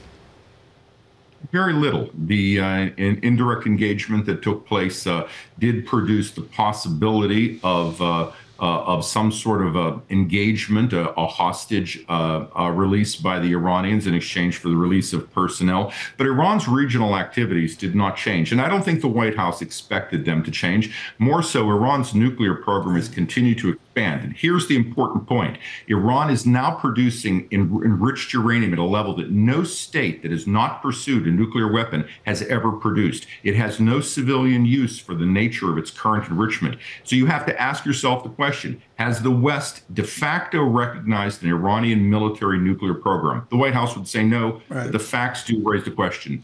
Norman, a tough way to segue here, but I'm going to do it as one final question. Taiwan continues to come up within our first of the year conversations. Do we have good intelligence on mainland China? The United States intelligence program against China has stated by Sec- uh, Central Intelligence Agency head Bill Burns is robust and works significantly. I won't comment on those operations to the extent that I know of them, but I will say that it, this remains such a priority that it's an all source intelligence program. So, with all imagery and a variety of different aspects, we're going to have a good understanding of some of China's activities that will provide the warning policymakers need. Norman, thank you, sir, for the update. Your insight, Brilliant. so valuable. Norman Roule there for the Centre for Strategic and International Studies. Thank you, sir, and a Happy New Year. Cut off for Happy New Year. Official. January 5th. Official. Come official. on. According to it's who? official. The Me. rules of yes. existence? Just they've been established yeah, for right a long, now. long time. Hmm, something like that. Page 24, Ferro's Manners book. Just because of that, I'm going to say Happy New Year till February yeah. 29th. And there is February a February 29th. 29th. Yeah. Oh, there is. Yeah. It's one of those years. Yeah. There's a 29th okay. this year. Huh? Yeah. Oh, thanks for that. News you need to know. That's news you can use. Thank you for that. the cut-off is the 5th. All right? Yeah, it's a hard March cut-off. No more of that. I can't believe it's been four years, Tom, since the assassination of Qasem Soleimani. I just yeah, remember um, sitting there that evening yeah. in New York City watching this play out on, on the news, on cable news here in America, facing a real prospect of maybe some kind of military escalation between two nations. That was basically the big story to start the year. And then all of a sudden we're drowning well, in the pandemic and it's not talked about through much of 2020. And, and, to my book of the year, The Loom of Time, from Robert Kaplan, he really emphasizes this, John. We underplay Iran. I'm guilty of this like everyone else. I'll just point out that Iranian state TV is reporting that there were some explosions near the grave of the Iranian commander Soleimani today uh, in this anniversary day. We don't know more details about it, but still, that tension very much forefront of people's minds. And it raises this question to Norman Roule.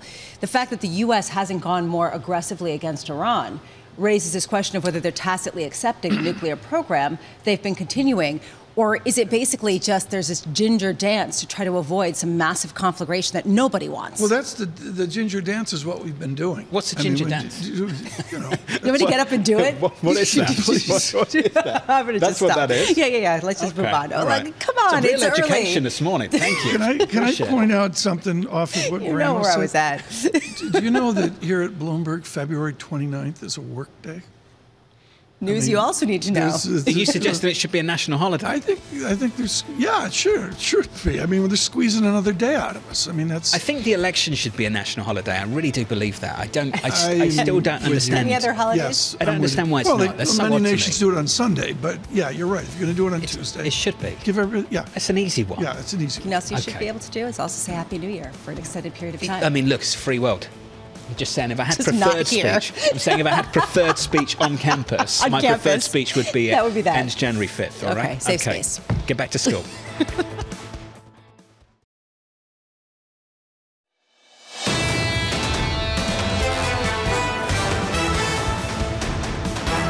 Following nine weeks of gains on the S&P 500, the equity market meets gravity. Yesterday on the S&P lower, this morning lower by 0.4% on the S&P. On the Nasdaq 100 down by 0.6. The Russell of small caps down almost a full percentage point. On the Nasdaq yesterday, the worst day since October. Sounds dreadful, Lisa. Following a 54% rally through 2023. Meeting gravity. I love that. I just imagine someone on the monkey bars like myself and meeting gravity. There's a question, though, here. Uh, when we look forward, can you create a narrative from this? Is this sort of the rotation that people were looking for, or is this something more dramatic where people perhaps got a little ahead of themselves at the end of last year? Hard to really make a narrative, but it gives you a sense of just how crowded some of the positioning was, particularly in tech. Well, big winners towards the end of last year. Discretionary tech, to your point, were the big losers yesterday.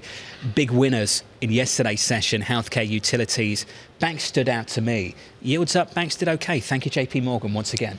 And it also was Citigroup with Mike Mayo coming out and talking about a tripling in the stocks. At what point are we talking about what's good for JP Morgan is good for JP Morgan? We mentioned this earlier versus what's good for all the banks. There is a feeling that something has to give. Private equity companies are going to have uh, some exits on their funds. They're going to have IPOs. You've got companies that have to refinance debt. Banks are going to cash in on all of that at a time when you do see enough stability for them to maybe get some of that action. Bank earnings, earnings from JP Morgan two Fridays away. So next week, that's a story for us.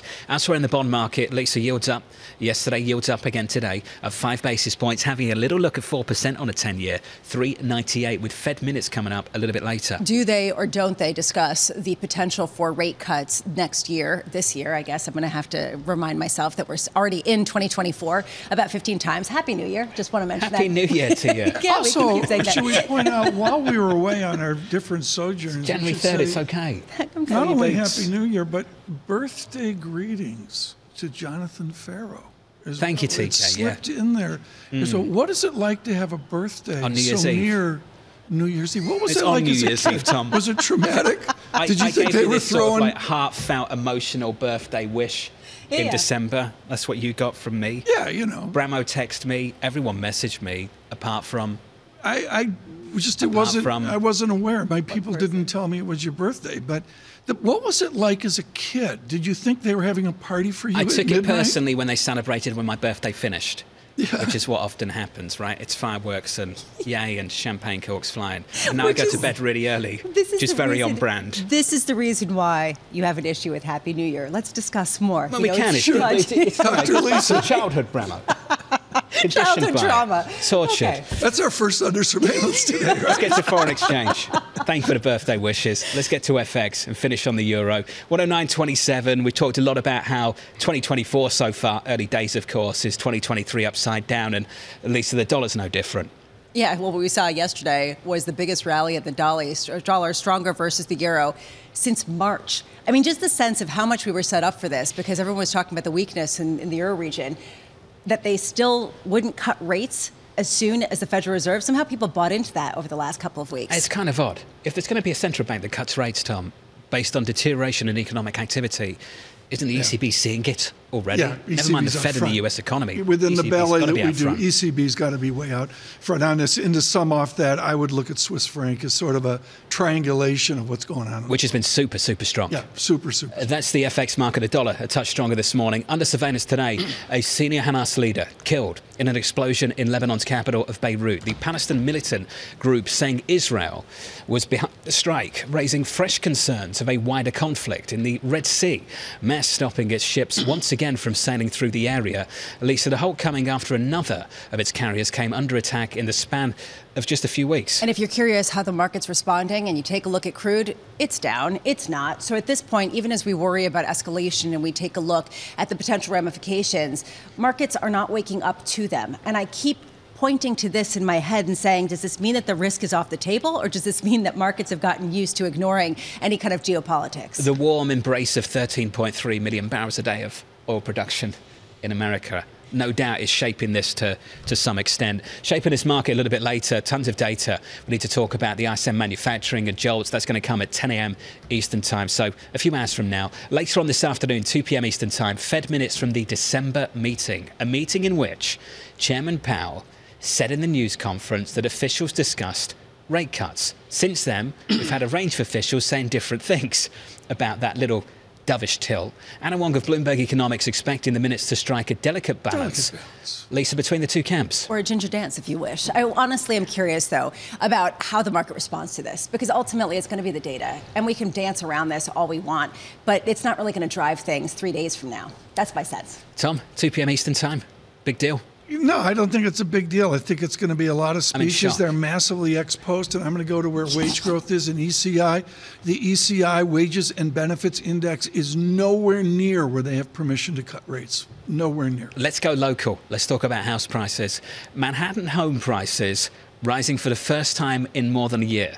Purchases in the fourth quarter up 5.1% from a year earlier, the first annual increase since the third quarter of 2022. Now, you might be thinking this is about interest rates, going to the bank, borrowing lots of money at 6% or whatever. No. More than two thirds of Manhattan buyers paid cash, the highest share since Miller Samuel started tracking in 2014.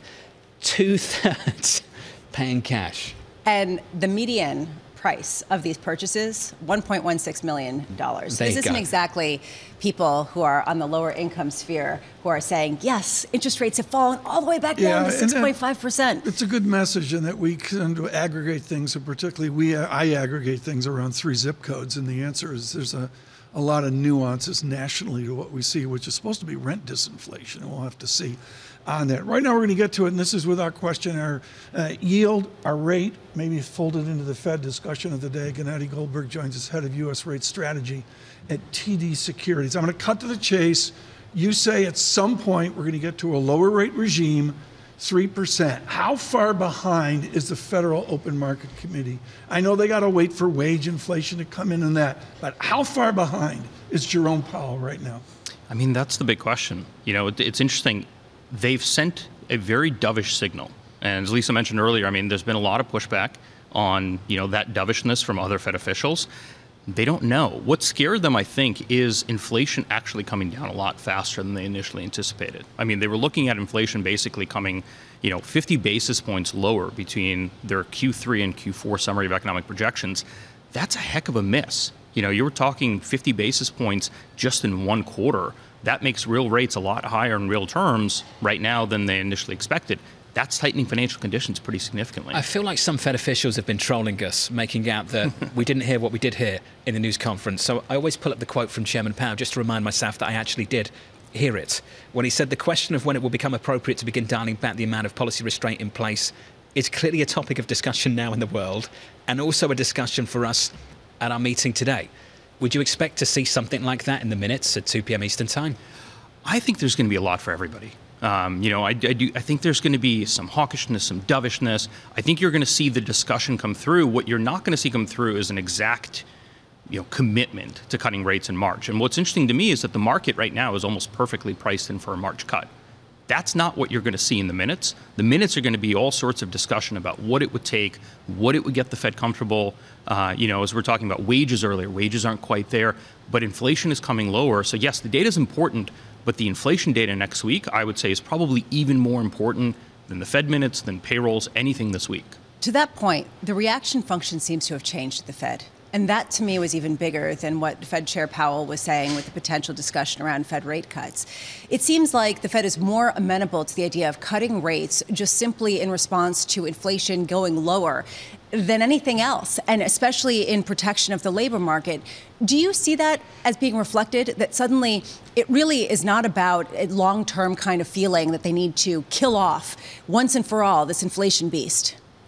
I think they're getting more comfortable with inflation actually being a little bit more under control. They're, they're very reluctant to break out that mission accomplished banner just yet. Sort they know of. how that goes historically, but they're getting a little bit more comfortable. And now what they're saying is, we've got the data basically in a good spot. You know, labor markets are still chugging along, growth is still chugging along. We can start bringing down rates earlier. We don't want to over tighten. I think that's the message they're sending. That's why they've tipped their hand that they are net dovish but the markets are probably overreacting a little bit. Well, are they though? I mean, if you take a look, for example, at housing prices, rents are coming down, and that's what we see in some of the inputs to CPI. But as we were just talking about, home prices are climbing. That's going to feed in later. There are these other kind of areas that are inflationary pressures that are going to come down the pike that aren't going to be reflected in the data that we get over the next couple of months. How much is the Fed going to really miss the boat here in terms of being able to kill off inflation? And we're going to see that later this year. Well, what's interesting is even if you take, you know, our let's say more aggressive profile into account. So we've got 200 basis points of rate cuts penciled in for this year, another 50 for next year. So going back to 3% on the funds rate even if you take that into account with our inflation projections, the real Fed funds rate ex ante is still going to be about six and a half to six seventy five. Uh, excuse me, one, one, one, one and a half to one seventy five percent. A little too high there. Um, but you know, we are looking for still a real Fed funds rate that is notably positive to anything we've seen over the last 15 years. It's still going to be tightening just not quite at the pace the Fed was tightening at. We're at, at about 3.5% right, right now and declining. Let me get an honest question from you because Toronto Dominion has great Toronto Maple Leaf seats, and maybe you can talk on this where a lot of our guests can't talk on this. They're constrained. To your good point about elevated real rates and the tension in private equity and private credit now. I just did a three month LIBOR to go back, folks, to 1985, almost 40 year regression of the great disinflation is seen in three month LIBOR, that benchmark, the keel of the sailboat, if you will. Right now, we are out three standard deviations, higher yields. It, it's anomalous in every sense of the way back 40 years. What is the urgency now of the Fed to normalize rates to assist a financial system that may be breaking? Well, I think they're worried about overtight and that's what they're telling you. That's what Powell kind of came out and basically tipped his hand to.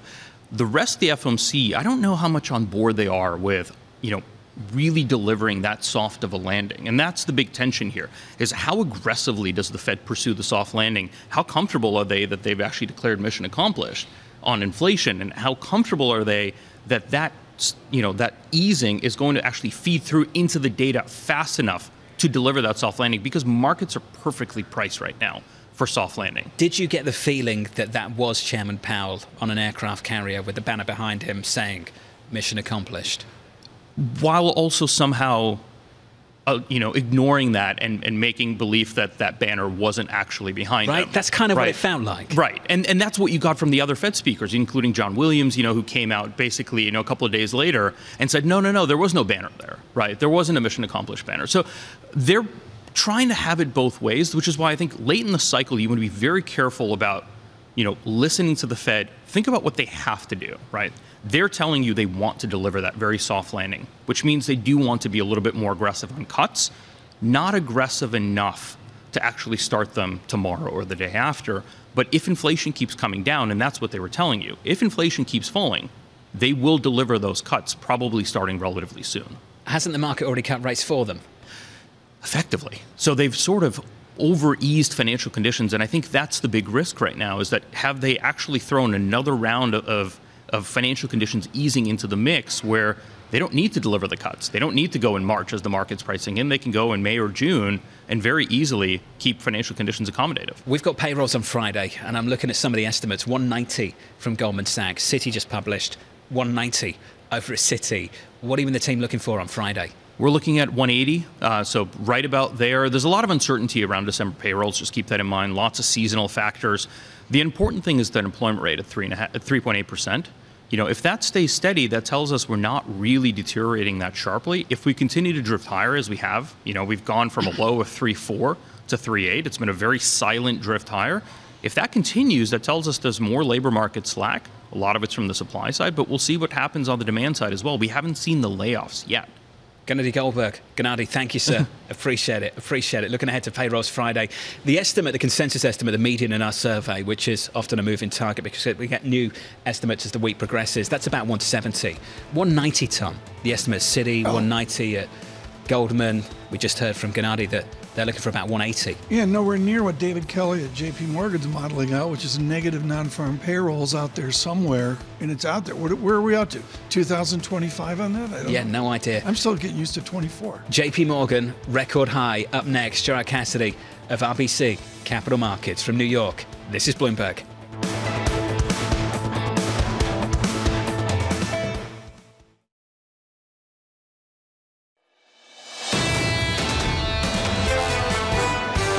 Think the bottom line is that Citigroup is becoming a much more simple and profitable firm whose earnings should double over the next three years. But this is make or break time for Jane Fraser. You said, mm. is this due to Jane Fraser? Mm. Maybe. Mm. I think so. Yeah. But not definitely. That was Mike Mayo of Wells Fargo naming Citi his top pick for 2024, saying he expects shares to more than double over the next three years. This is JP Morgan. Hits a fresh record high for the first time in more than two years. Gerard Cassidy, large cap bank analyst at RBC Capital Markets, writing this. After a tumultuous 2023, we believe the banks are well positioned for investors to earn outsized returns in 2024, and investors should overweight the sector in their portfolios. Gerard Cassidy, I'm pleased to say, joins us now. Gerard, let's go straight to it. Number one question. This is a question for me, and I know it's a question for Lisa. Is this off the back of higher yields lower yields? I would say, John, that uh, we're expecting that the yields uh, gravitate lower, especially at the front end of the curve. When you take a look at what the Fed has done, if we truly are at the terminal rate for Fed funds in the past four tightening cycles, when they started to cut rates, it's always been a catalyst for bank stocks. And I think what we're expecting, as the market is, that at some point in 24, the Fed could cut short term interest rates. Is this for bank stocks or is this for JP Morgan?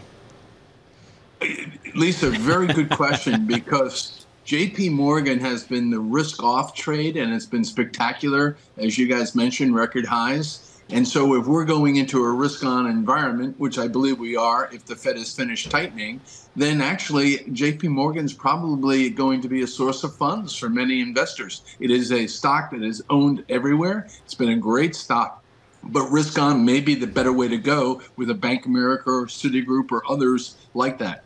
A source of funds. I love that. It's a euphemism for it gets sold so that you can raise money to buy something you think is going to return more. The fact that you think it's going to be Bank of America, do you also lean into the Mike Mayo idea that Citigroup and its whole revamp with some of its uh, streamlining, cutting units, massive job cuts is going to be the real winner?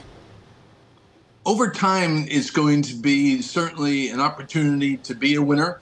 Uh, they've still got a lot of heavy lifting. Jane Fraser's leading the charge here, of course. And I think it's a very uh, big, complicated job. It's turning around an ocean liner. There's early progress, a lot of heavy lifting, as I said, to do. But if she can succeed and the management succeed, this stock is definitely undervalued and it has great upside. But it's been a value trap for many years, so we'll have to wait and see.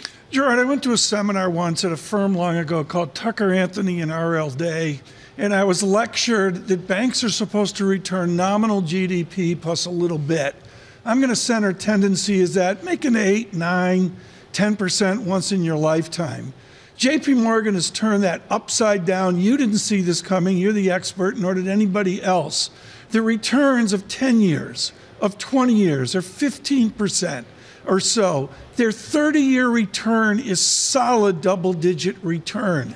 What did Harrison, what did Dimon get right? Tom, it's really Jamie Dimon. I think uh, you could get, give Harrison credit, I guess, for merging with Bank One when Jamie Dimon was their CEO. And of course, Dimon has taken over since then. And it's been his steadfast focus on delivering for shareholders, both through expansion and growth, but at the same time controlling expenses. They also have done a very good job in diversifying their revenue. Their consumer banking business, similar to Bank America, is very, very profitable. On top of that, they've got a, a, very strong capital markets business. The Bear Stearns acquisition, which was very difficult in early years because of the reputational problems that came along with it, has worked right. out extremely well for them. So I would say the diversity of revenue, Tom, and the focus on leading or uh, delivering for shareholders. But back to Andrew Jackson, who you covered, you know, years ago, Gerard. I mean, are they the fifth bank of the United States? Over the holidays, somebody said one out of five profit dollars dollars comes to J.P. Morgan. They're building their palace on Fifth on Park Avenue right now. I mean, to the Butch Cassidy idea, who are these guys? Are they the Bank of the United States? I, I, don't think they're the Bank of the United States, but they have done a great job in delivering for their shareholders and, and for their employees and their communities as well. It's been a big growth engine for the company, this economy, the global economy as well. And again, it's this leadership that they have under Dimon and his executive management team. And Tom, you know, many of his senior folks have left JP Morgan and are now CEOs of other uh, banks like Charlie Scharf at Wells Fargo. And so he's got a very deep bench and they execute. That's and that's the key, Tom. You know, banking is a commodity business, as you well know. It's all about execution, and JP Morgan has executed extremely well. What is the business model, though, that you want to execute as a big U.S. bank, Gerard? And this, I think, is one of the key questions that we had during last year when the rise of private capital, uh, private equity, private debt really was challenging the capital markets activity of certain big financial institutions. Can the JP Morgans, the Bank of Americas, the Citigroups get into the private debt world that in some ways has been stealing their lunch? I think it can, Lisa. And, and, when you think about it, and, and, you're right, the private equity, private debt area is certainly growing uh, much faster than the banks. But believe it or not, the shadow banking industry has been taking the banks' market share for 40 years. You go back to the early 80s and you look at the market share that the banks had of lending into the United States. It was well over 40%. The private or shadow banking market was in the low 20s. Today it's completely flip flopped. The bank's market share now is in the low 20s, and the shadow banking is in the 50, over 50%. So the banks have done it through consolidation. You know, when Tom and I were young, we had over 18,000 banks in the United States in the early 1980s. Today, there's 4,600. JP Morgan has been a big beneficiary of that, and they've been able to create those efficiencies. So, yes, they can compete, they will compete, and I don't think that the banks are going to be put out of business, but certainly they don't have the market share that they used to have. But we have to remember, too, the economy has grown dramatically in 40 years, and they have a smaller slice of the pie, but they're more profitable than ever. Not just JP Morgan, but other banks as well. What about the smaller banks, given the fact that they, uh, you're talking about a bigger slice of uh, just overall activity? You haven't seen that so much in the smaller banks, and with rates remaining high, you're going to have real commercial real estate pressures as well it's interesting. It depends on uh, you know how small the bank is and who owns it. I've always maintained this banking system we have in the United States is obviously very polarized. You got the very small banks at one end and the very large banks at the other end. And if it's a non, if it's if the owners of the smaller banks, private banks or mutual savings banks or another group of banks, if their owners are comfortable with earning returns on equities of four or five percent, and they're not going to sell the bank as long as they have FDIC insurance. They're going to remain in business indefinitely. On the other end, if you do have a bank with 30 billion in assets and it's not earning up to what its shareholders want it to earn, then they're going to have to consolidate. So consolidation is going to continue. We're in a pause right now, but the long-term trend has been consolidation, and the industry will continue to consolidate in the future, in our view. Gerard, let's finish on Washington, if we can. I was speaking to your colleague, Amy Wu Silverman, just yesterday, and we were reflecting on a line that came from Lori Calvasina, who I think described presidential politics and the election on the horizon like staring at the sun. I just wonder if that's what it's like for you. Have you given any thought to changes in leadership in Washington and what, it might mean for the companies that fall under your coverage? John, it's a, good question because it's going to be the topic du jour this year, of course, with the election coming. And what we can say is that under the current administration, there's been more regulation of banks, particularly with the Consumer Financial Protection Bureau. We don't know who's going to be running, you know, just yet in November. But if Trump is the candidate for the other party, the Republican Party, and if he was to win, his administration had less regulation for banks. So if that administration was to come back, you would have to expect they would change the heads of different regulatory agencies in 2025, and there probably would be less regulation for the banks as we move forward. You know, John, I I think Bloomberg Radio's missing it today because we're seeing the fireplace with Gerard Cassidy here on Bloomberg Television. The warmth of Do you know, talk Cassidy. about inflation. South Paris, Maine, three hundred and twenty-five dollars per cord of red oak. That's delivered to Shea Cassidy, and he's he's popping like eight nine cords a winter. He's a think about that. I mean, it's adding up. It's expensive, but don't you love the smell? The smell's great. The I damn just- dog I is over by the fireplace. The smell. You know, his his dog's called Elizabeth. We won't go there. And uh, We won't go know. there. Gerard, thank you. Joe Cassidy of RBC Thank you. Capital Markets. Thank you, sir. Coming up a little bit later on Bloomberg TV and radio, 10.30 a.m. Eastern Time, a few hours from now, Morgan Stanley Executive Chairman James Gorman, as he leaves his post as CEO, an exclusive conversation with Bloomberg's Sonali Basak. Lisa, that is the exit interview with Shanali a little bit later. Yeah, with Tim uh, Pick uh, coming up and taking over, Ted Pick, excuse me, taking the helm of the big ship that frankly has beaten Goldman Sachs for so many years. Can they continue to do that in 2024? Looking forward to the conversation. Looking forward to this as well. Up next on the program, Phil Camporeale of JP Morgan Asset Management. From New York, equity futures session loads were down 0.4%.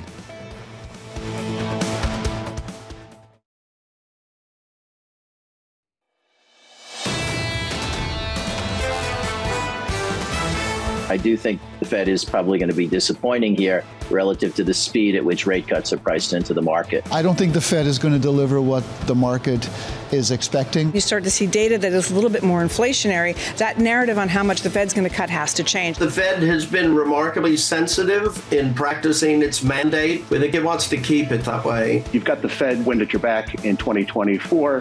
This is Bloomberg Surveillance with Tom Keene, Jonathan Ferro, and Lisa Abramowicz. Good morning, everyone. Jonathan Ferro, Lisa Abramowicz, and Tom Keene on radio and television. Day two of a new year. A struggle in the equity markets. The world turned upside down. And thank God at 10 a.m. this morning, we got the John Ferro statistics. You think ISM matters. ISM services matters, manufacturing less so. ISM manufacturing's been sub 50 since late it's time to get- 2022. If yeah. you were following that to make some kind of trading call on the broader economy, the broader market, you'd just be dead wrong. Yeah. Outside of ISM manufacturing, Tom, things are pretty decent if you focus on jobless claims. And this week is all about the jobs report. Payrolls on Friday. The estimate at the moment about 170. Some 190s out there from Citi, from Goldman. Right. That's pretty decent. After the big interest rate hikes we've had so far, this wasn't what we expected to start 2024 I'm going to look with. at the headline data wage inflation. Wage inflation just has said do not pass go to the Fed so far. They can't move until wage inflation comes down. They're teasing it though, aren't they? Yeah. Chairman Powell flirted with the idea that maybe they're starting to discuss it, which tees up the Fed minutes, Tom, later this afternoon, 2 p.m.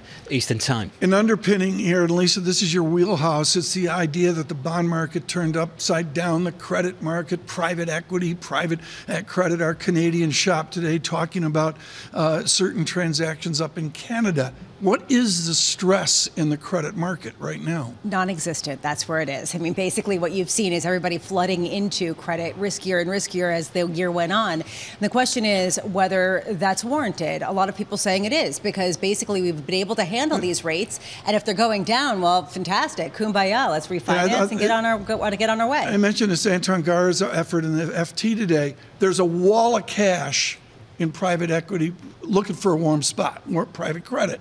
But at the same time, they have a wall of cash invested that they're trying to get out of, and that's stopped this year, right? Yeah, if you take a step back, right? So there is sort of two and a half trillion on one side of cash and private equity, and 2.9 trillion dollars of exits that they need to do for the companies they're actually invested in. If you take a zoom out kind of approach, there has been stasis in a lot of capital markets over the past year because of how high Right. rates are. When things start to defrost, which direction will they go? Will you start to see valuations truly reset? Given the fact that we haven't really seen the visibility, or will we start to see, you know, all things to the moon, everything's a go, and inflation continue to reignite? You and I talk about this, and she just goes, Well, we need to see exits. What in God's name is an exit, John? Exit from what? IPO market? I yeah, don't know. potentially some business for the banks, TK. I, going I- public. Yeah, well, it's a part of global Wall Street. It's been really, really soggy here. And with the turmoil that we see in the equity markets, futures negative at 21. John, the VIX still hasn't come back. 13.86 on the, on the VIX is still not like a two day Wish move. we had the Brammo cam up for when you weigh in. It's like this deep breath. It's like yoga trading, like relaxation. Please, like stop. deep, No, deep no, breath, just no. to kind of like reset, stay cool, stay calm. No, I just, you know, I, I, I'm glad that you defined exits. Sorry to use jargon. Exit. I think everyone. I think that I could take an Anyway, exit. We're gonna exit. price action We're looks like this. Let's get a screen up on the S&P 500. Equities down by 0.4% on the S&P. Keep going back to this call from Max Kettner of HSBC. Yes. Look, he was bullish all of last year. And you're right, Tom. I remember sitting down with him early on in the year, and he was talking about the biggest risk being the upside risk in markets, and he was right to call that out. It Was long equities, was long credit, when everyone was talking about being maybe overweight cash, receiving 5%. this is what he's saying this morning. The biggest risk right now, and it's not deterioration in earnings activity. What he's looking for is another repricing in rates. And if you get the kind of numbers that Goldman Sachs and Citi are looking for in a payrolls report on Friday, you keep seeing that through the year and it keeps pushing off the idea that the Right. Fed cuts anytime soon. Maybe you do get the max cap. And I'm going to go into short term rates as well, maybe away from what the economists are talking about. Their 10 year real yield, 1.75%. And Gennady was just on with TD Securities saying that has to come down. I don't see the oomph there to get it down to 1.5 or 1.2%. Took you this morning, Tom, 435 10 year at about 398, pushing 4% this morning on a 10 year treasury. What we're doing here, folks, equities, bonds, currencies, commodities, I believe that's multi asset. Phil Camporeale joins us right now with JP Morgan Asset Management, multi asset portfolio. Which asset is the best to be in right now? Equities.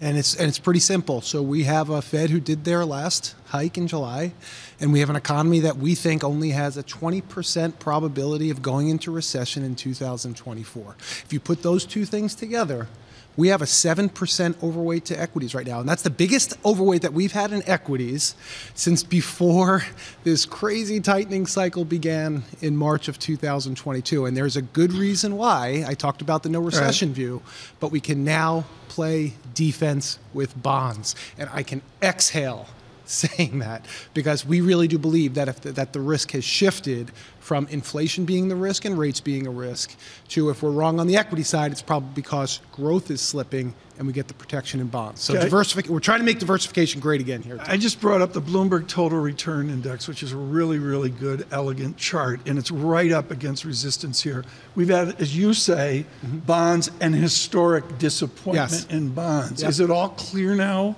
for total return on bonds?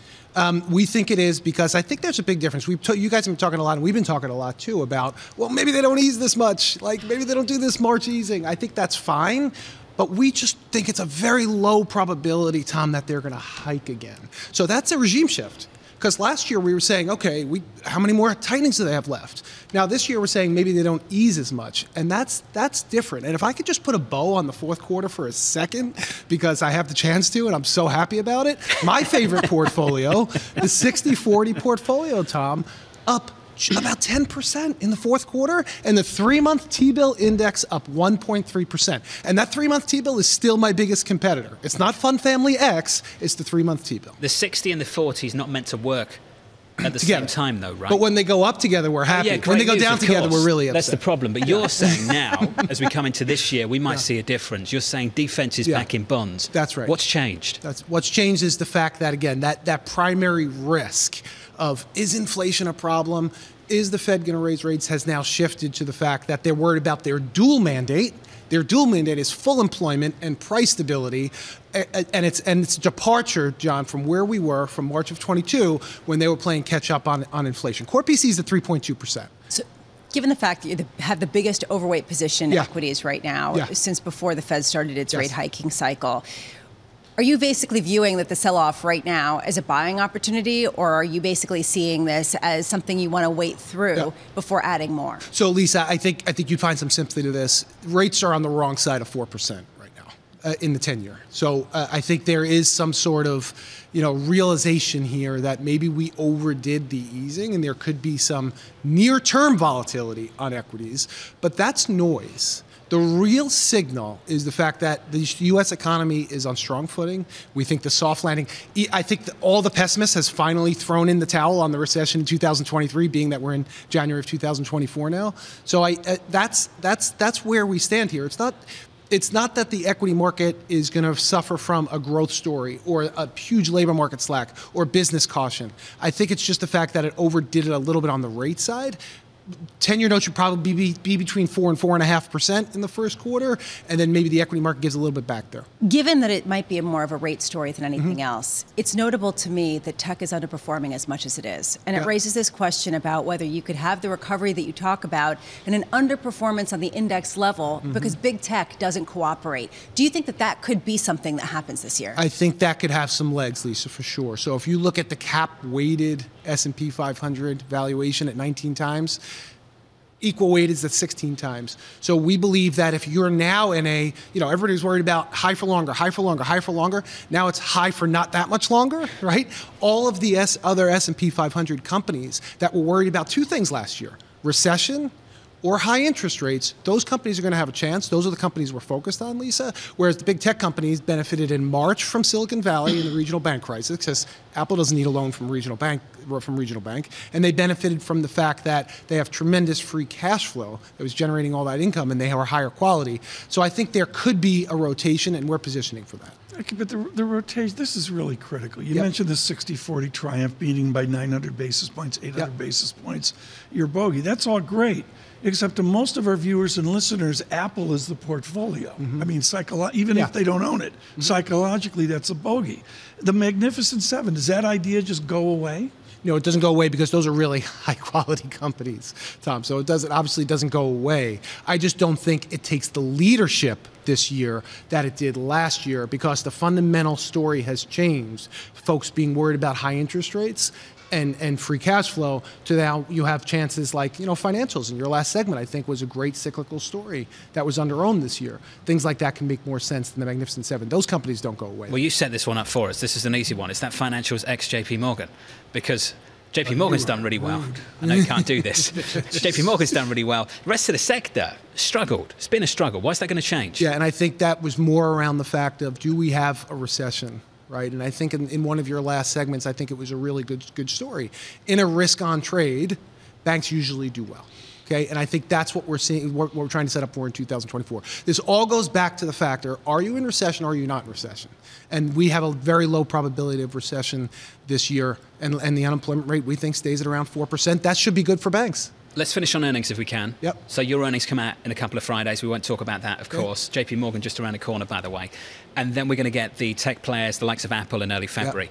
What are you looking for for the fourth quarter as we hear from those companies in the next couple of months? Yeah, so I think our earnings estimate, John, for this year is about 10% on earnings. And I think that what we're going to hear from these companies is, I think, a little bit of a sigh of relief on the rate side. And I also believe that the U.S. consumer continues. You know, you mentioned ISM services. I couldn't agree with you more.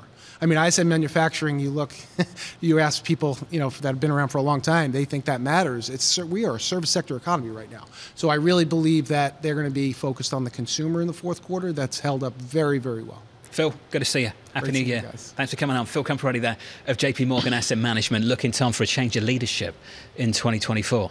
Well, there's a, there's a zillion opinions out there, but the basic idea to the select few that own the Magnificent Seven, I'm not one of them, but the basic idea is if you own them, what do you do? Do you walk in and sell them?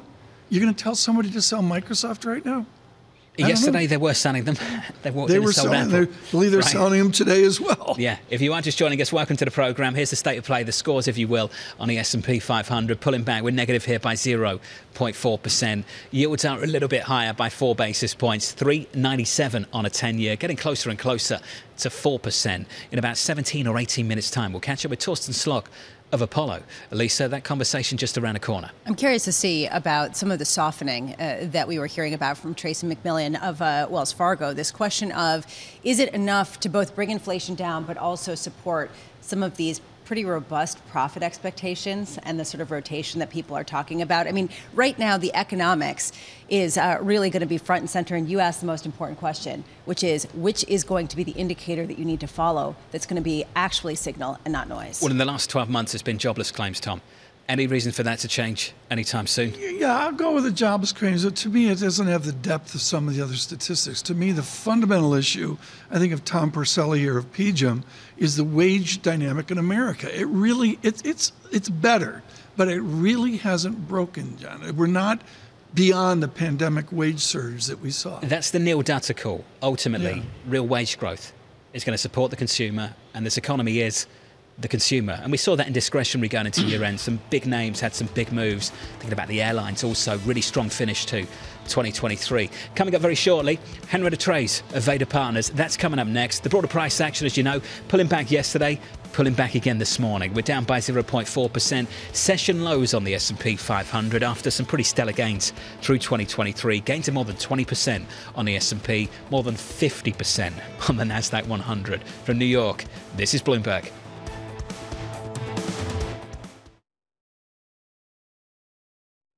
The jobs report last month beat estimates. That is a stunning number. That is what nobody was expecting. The bullish train has left the station. This is what Powell does not want to see. This Friday, Tom, Jonathan, Lisa, and Mike will bring you crucial data and expert analysis at terminal speed. You're really not seeing the level of restrictiveness show up yet in the labor market. Significant job growth and high labor force participation. There's a very strong chance that the market is mispriced for 2024. The December jobs report, Friday on Bloomberg Television and Radio.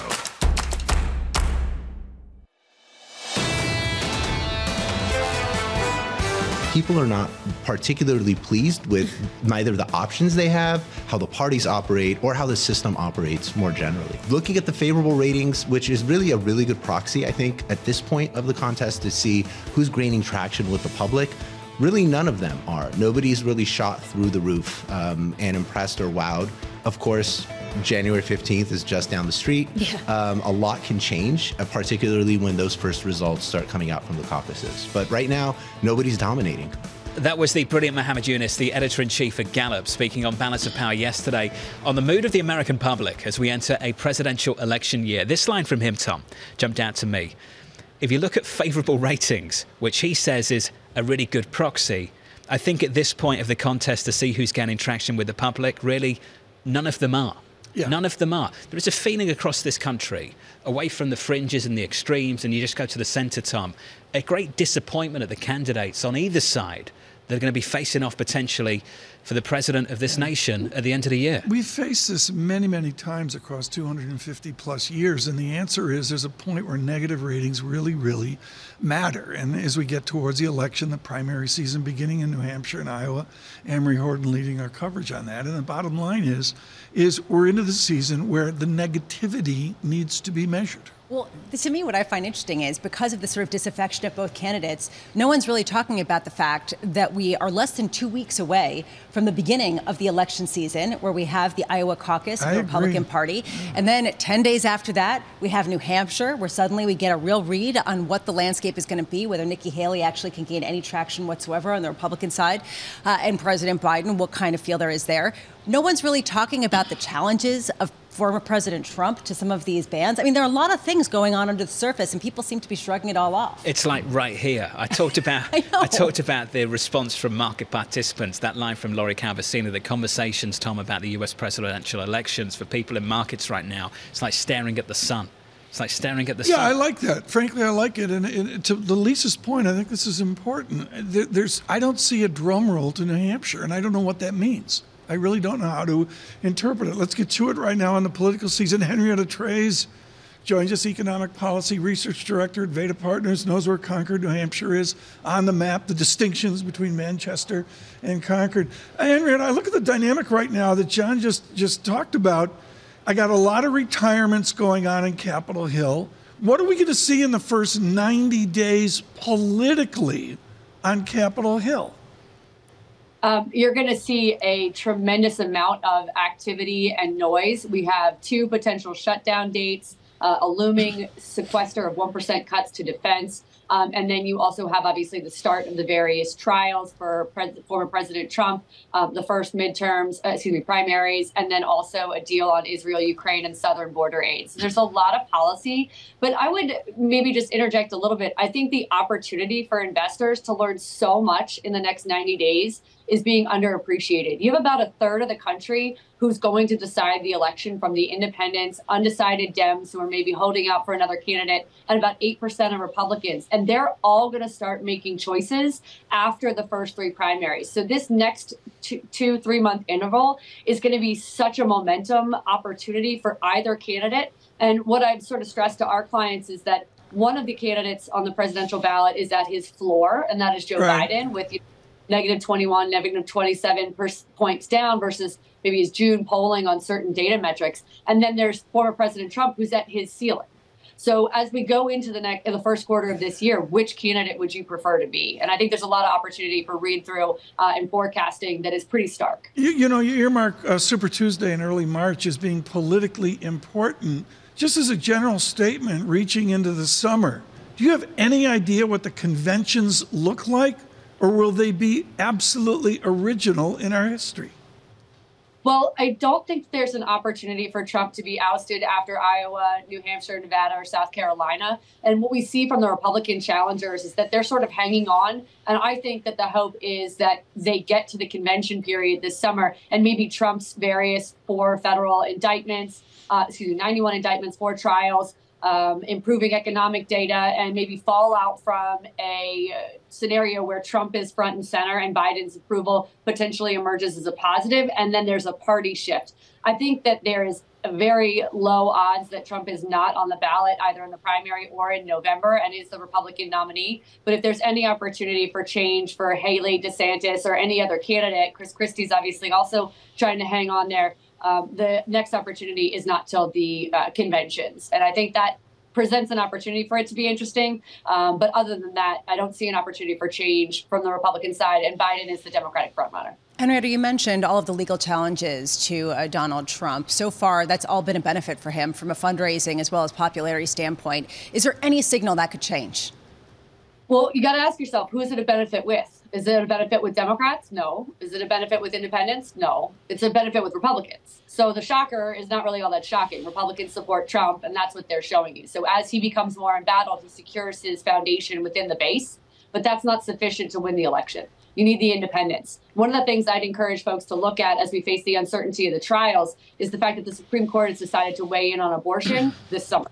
So we're going to get additional inflection points that have for the last three years impacted the way independents and Democrats and Republicans turn out. And abortion, I think, overshadows any of the trial stuff, which has shored, as you point out, shored up Trump's base. Um, but that's to be expected. Republican voters love Trump, and they exhibit that time and time again. I kind of smile when we talk about leadership change within the market composition because we're going to get such a massive leadership change, maybe, uh, in the United States, where you get the first matchup, rematch once again, of two presidential candidates since 1956, I believe.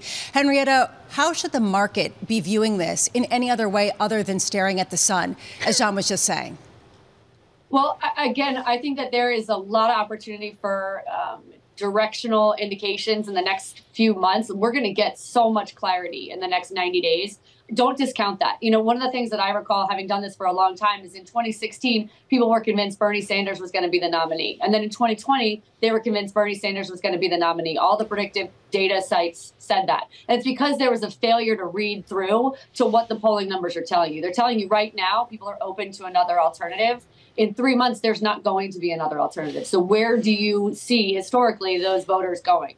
To their base. But in this case, I would be talking about Democrats because Biden has the biggest gap within his caucus. But then also independents. Where do they go? Well, since 2016, they've gone to the Democratic Party. So you'd have to overlook 2018, 2020, 2022, and, and then assume that it would somehow be different in 2024. And that sort of defies logic. Well, let's finish on this question then and tell me if it defies logic to think about this. Do Democrats need a plan B? Uh, I first of all, I don't think there is a plan B, so I, I doubt it. Um, in the scenario that they do, their convention would look a lot like the confusion and um, uh, momentous occasion that I described for Republicans, where you have a Gretchen Whitmer or a Gavin Newsom sort of emerge at the last minute. Um, but uh, again, I think the investors have also overlooked the fact that the next in line is the vice president, and that's Kamala Harris. And so there would be a, a three way race, I think, between those three candidates if you were to come to the convention for Democrats and need to have a new candidate. Interesting. Henrietta, thank you and Happy New Year. As always, good to catch up. Henrietta Treyz there at Veda Partners. TK, your thoughts on that last question? Do we need a plan B? Uh, it's a really sensitive question, and I think everyone awaits. And it's a calendar item. I can't emphasize enough where many of the questions that we have to the left, to the right, in between as well, are calendar items. And Lisa nailed it earlier, saying that the calendar's disrupted for whatever reason here. I don't see the anticipation. Yes, Iowa, I get it, but I, I'm I'm sorry, East Coast bias, New England bias. I'm focused on New Hampshire. And I'm sorry, the focus is not there as it's been in previous cycles. I wonder how much Henrietta's line is actually one that the White House is looking to as well, which is right now you're seeing President Biden's floor and you're seeing the former President Trump's ceiling, and that's going to shift over time. What happens if it doesn't? As she said, there is no plan B. Do they need one? Unclear. There isn't one, period, full yeah, stop. if you ask them, they'd be like, we don't need one. Exactly. But I'm sure there's someone out there saying, do we need There are a lot of um, people saying yeah. that. Tom Keene with an East Coast bias. I'm in shock. Absolute shock. Oh, shock. Shocking. Torsten Slok of Apollo. Truth seekers. Coming up next from New York City. this is Bloomberg.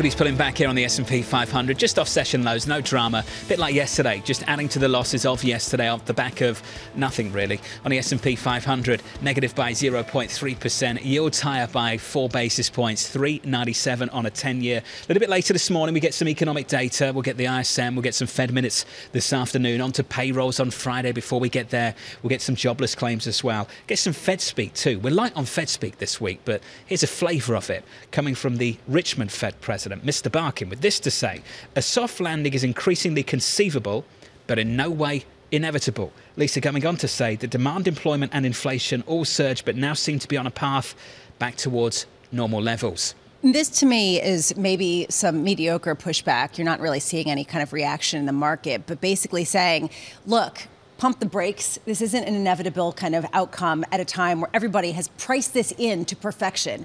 And that's sort of uh, the balance that we're going to hear in the minutes as well. Trying to introduce maybe, Lisa, Tom, some two way risk to this conversation around rate cuts as we start Yeah. a new year.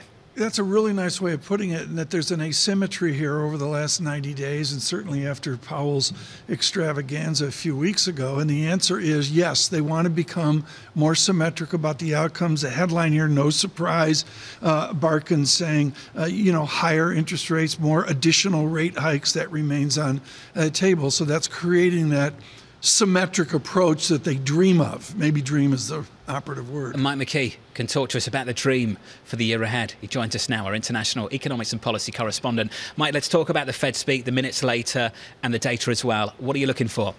Well, everybody is going to be looking for any kind of indication about timing of rate cuts and what they might say about the number of rate cuts. Barkin talked about that in his speech this morning and said that all of this is in the context of their forecasts being right. They put out forecasts for inflation and unemployment and growth. At the same time, they talked about the possibility of three rate cuts, and he says that uh, the rate cuts depend on the forecast being correct. And as you note in his pushback, he says uh, to the uh, folks on Wall Street, I would caution you to focus less on the rate path and more on the flight path. Is inflation continuing its descent? So I think the uh, pushback idea is still out there. The Fed trying to get everybody to, to realize that this is uh, basically data dependent. And that's, I think, what we get out of the minutes today, too. Mike, on Friday, when you lead our coverage here on the wall of data that we see, to Barkin's comments, we're going to get wage inflation data. Is that disinflation right now? Are we seeing wage inflation come down? Well, we're not seeing disinflation. Really, what we're seeing is a very slight drop in the month over month gain, which, because of the uh, higher uh, payrolls, uh, pay increases that people got last year, is bringing the year over year level down. It's now around 4%, and the Fed's looking for three to three and a half. So it's getting there. They don't seem to be too worried at this point about a wage push inflation coming up. Uh, they're more concerned about other aspects of inflation, which will make CPI next week very interesting. All I can say is I'm still looking at these Barkin, uh, Barkin comments, and I keep thinking, John, the horse has left the barn, right?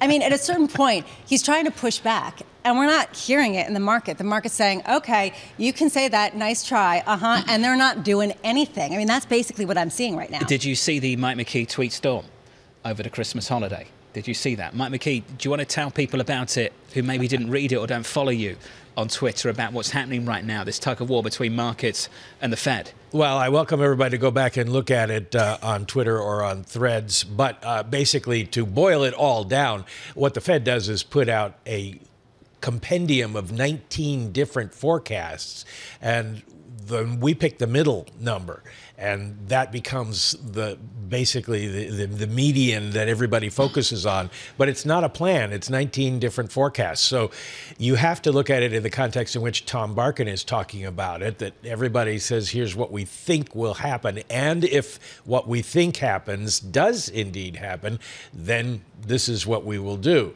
or this is what each of them would do and if you look at the dot plot and john you and i have talked about this before the dispersion of dots is still pretty wide wide for next year, from six to uh, one uh, or none. And so. Uh, there's there's not any certainty on the Fed about what they're going to do. Mike McKee, thank you, sir. Appreciate it. Mike McKee, they're breaking it down for the Federal Reserve. You can think about it this for the forecast as well, Tom. The median always masks the bigger story. The range often of the Federal no, Reserve is pretty no. wide. It's pretty wide right now for 2024, yeah. just like the forecast for the S&P 500 year end we can talk about the average, the median. At the high end, you've got 5,200. At the low end, you've got 42. We're talking about a 1,000 point spread. Uh, yeah, I would say, and, and, I think the pull over to the equity markets is really apt in that, we, you know, off of the pandemic, uh, we, we, have just a, a, great unknown out there, is how I'd put it, into all of our coverage, including, I believe it's January 11th on inflation. Uh, right now, our conversation of the day, synthesizing all this together, Torsten Slok is chief economist at Apollo Global uh, Management. Torsten, I'm going to pull in here a whole bunch of threads. The Bloomberg Financial Conditions Index is showing massive accommodation. And yet I look at the old LIBOR, the new SOFR, SOFR, and I'm seeing huge restriction within the short term paper market, tensions on Wall Street, and illiquidity on Wall Street.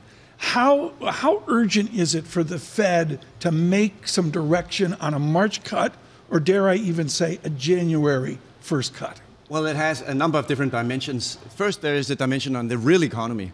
It's clear that the Fed pivot has eased financial conditions dramatically. And this begins to run the risk that we might see a repeat of what happened after Silicon Valley Bank. Remember, Chris Waller just said a few weeks ago the easing of financial conditions in Q2 that boosted GDP growth to 5% in Q3. Could we see the same now where the easing of financial conditions after the Fed pivot might actually be boosting the housing market, the labor market, services inflation, goods inflation? We are not out of the woods when it comes to battling inflation. So, on the real economy, absolutely, the easing of financial conditions is very supportive.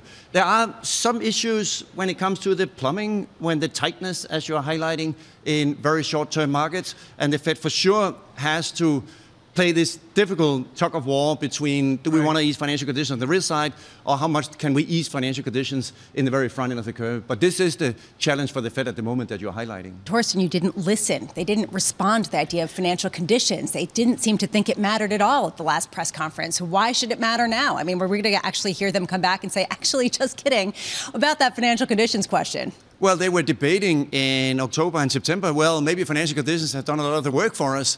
And now they're saying, well, maybe financial conditions, it doesn't really matter because it can fluctuate so much.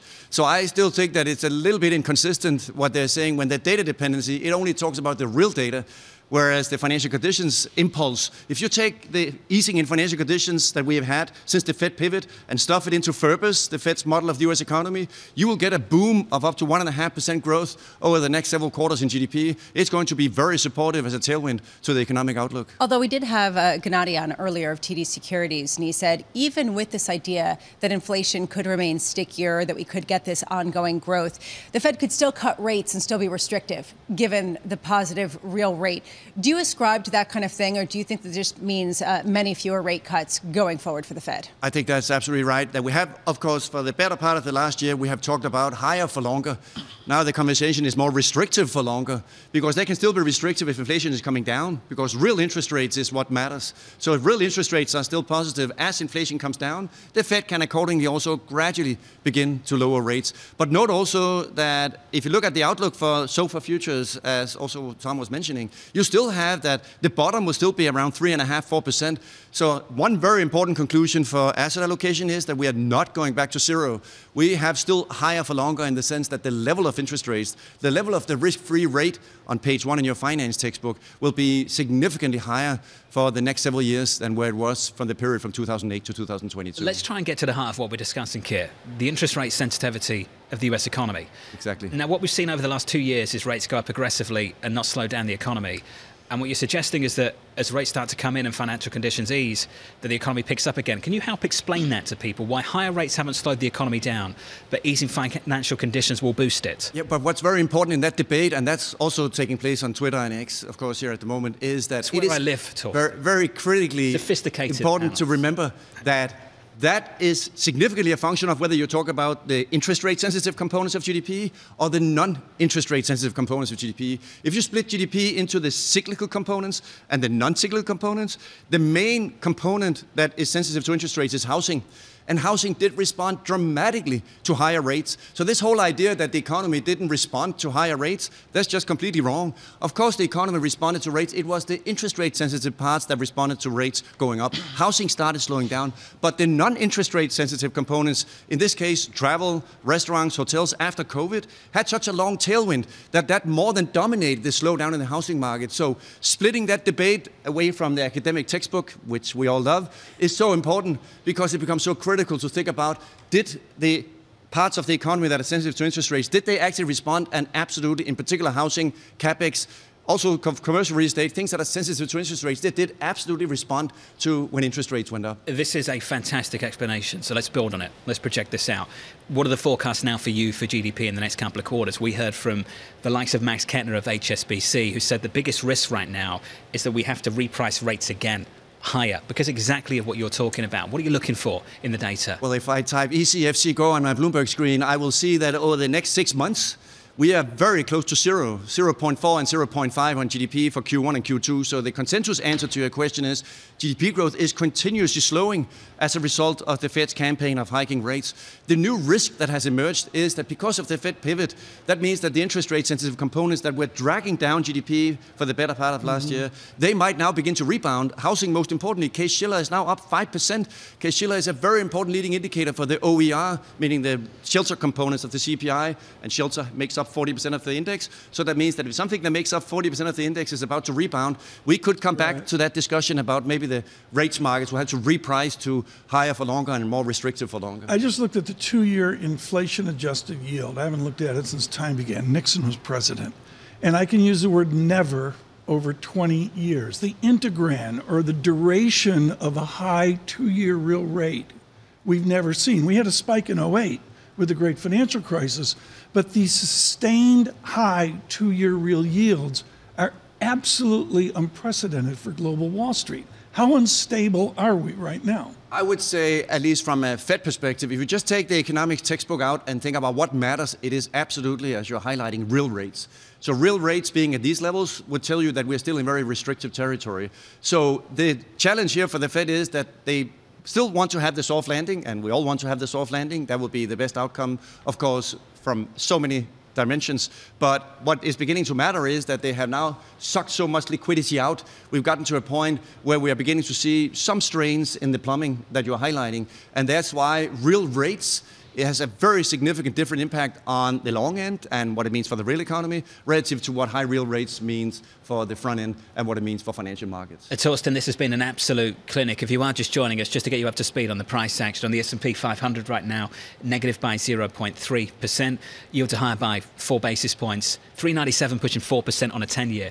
Torsten, if you had to take a guess year end, and it is just a guess at the moment, but I'll make it easy. Fed funds year end, five handle, four or three?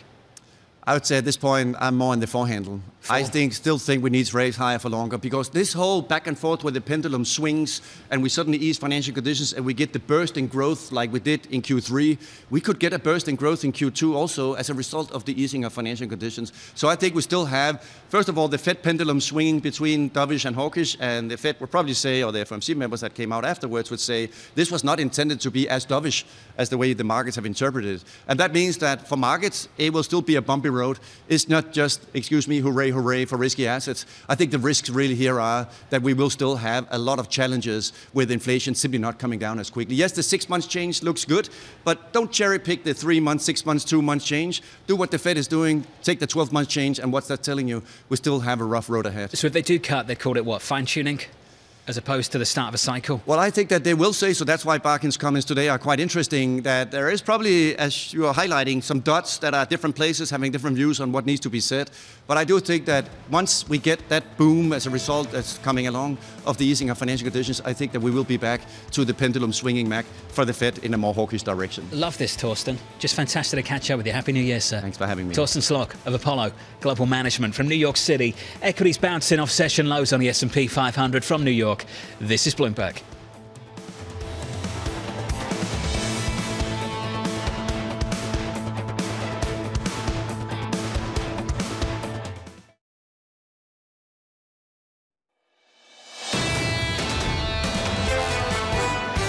AI is going to make it easier to access more information faster. How do we think about all those things and where is that going to go beyond this? I actually am very bullish on technology because technology is an underpinning. It's not its own industry. It is a part of every industry and it's actually going to increase productivity and actually make our lives better. That was Deborah Liu, the Ancestry CEO, speaking with the brilliant David Rubenstein. You can watch the full interview tonight on the David Rubenstein Show. Peer to peer conversations coming up a little bit later. Just want to check in on the price action for you as we kick off day two of trading for 2024. Your equity market on the S&P 500 pulling back by 0.4%, adding to yesterday's losses, turning 2023 to some extent upside down just for a brief moment. Yields higher again this morning by four or five basis points, 397.44 on a 10-year. The dollar showing a little bit of strength after a year of weakness.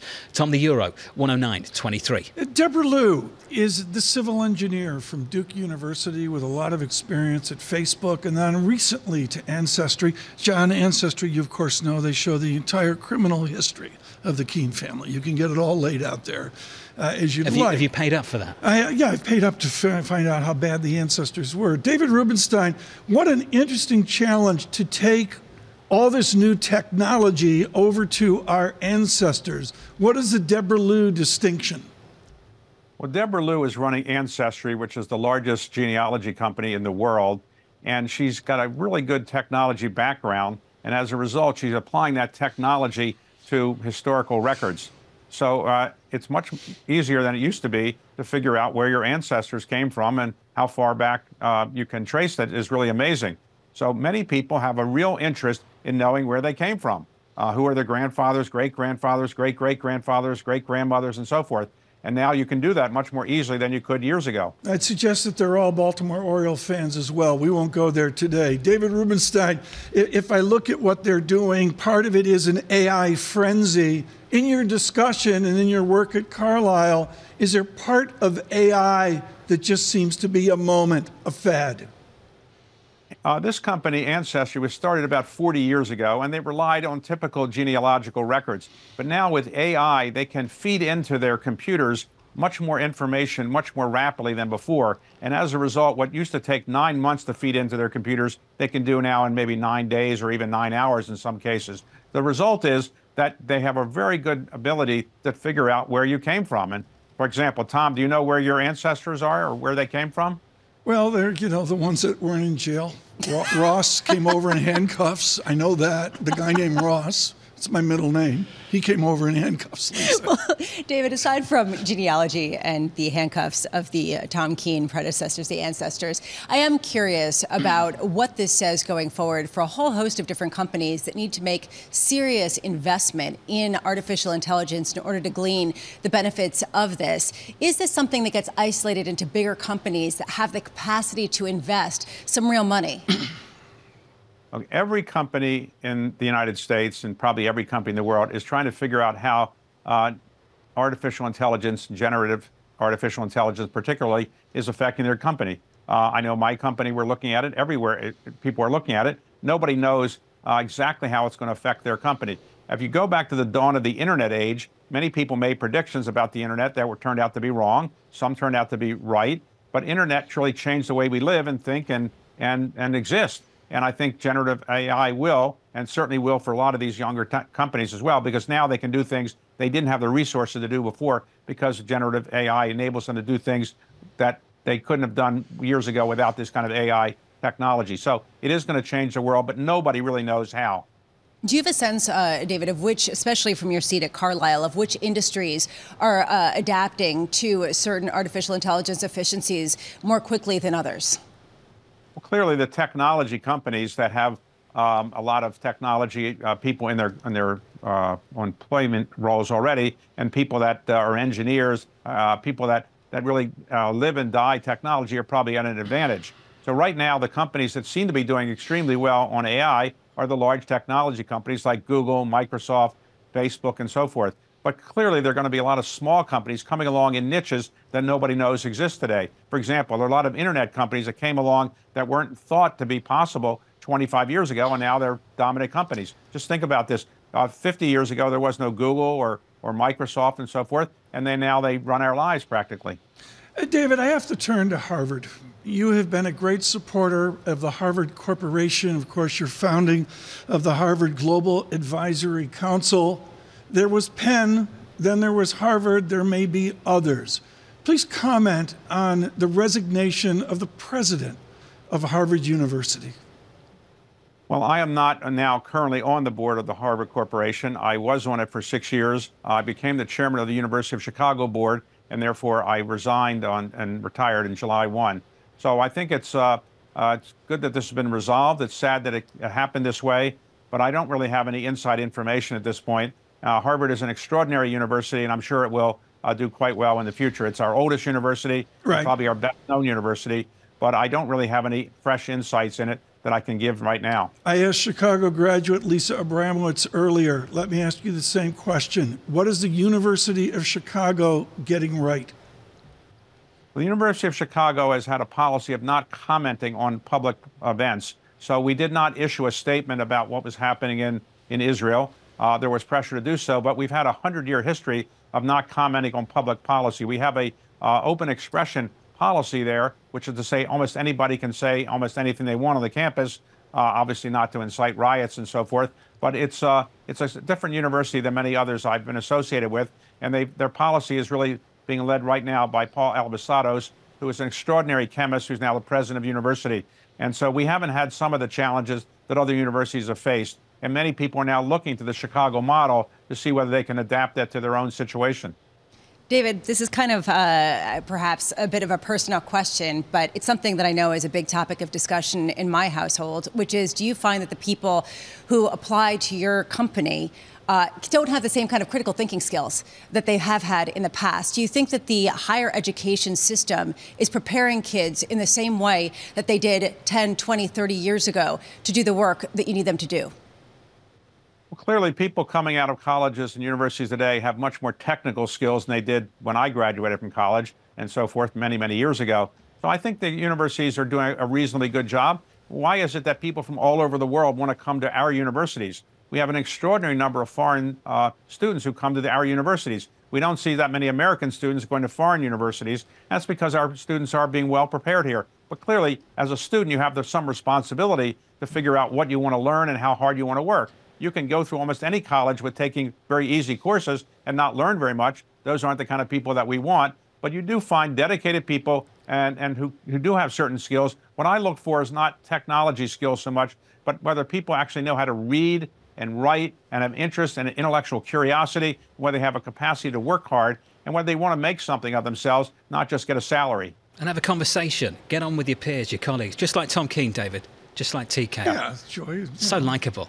David Rubenstein. David, looking forward to the episode a little bit later. Thank you, sir. David Rubenstein of the Carlyle Group and host of Peer to Peer Conversations on Bloomberg TV. The latest episode coming out a little bit later this evening. Just dead on, that conversation, Tom. Absolutely brilliant. Bramo, particularly towards the end, what are we preparing this generation for?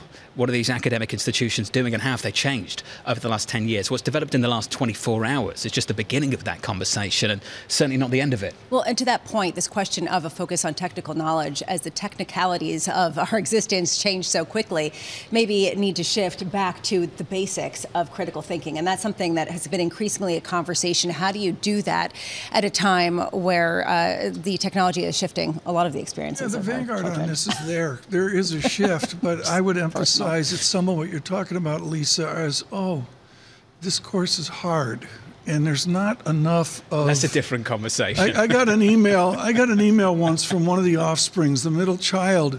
She took microeconomics for three days. She emails me, "This is really hard," and I said, "Yeah." Yeah. And in microeconomics, you develop the critical thinking skills around dynamics, concept, ge- geometry, blah blah blah. But the answer is, what you're talking about, Lisa, is like actually going to school and studying. How strange. Hey, this was fun. It was nice to close out an hour with you.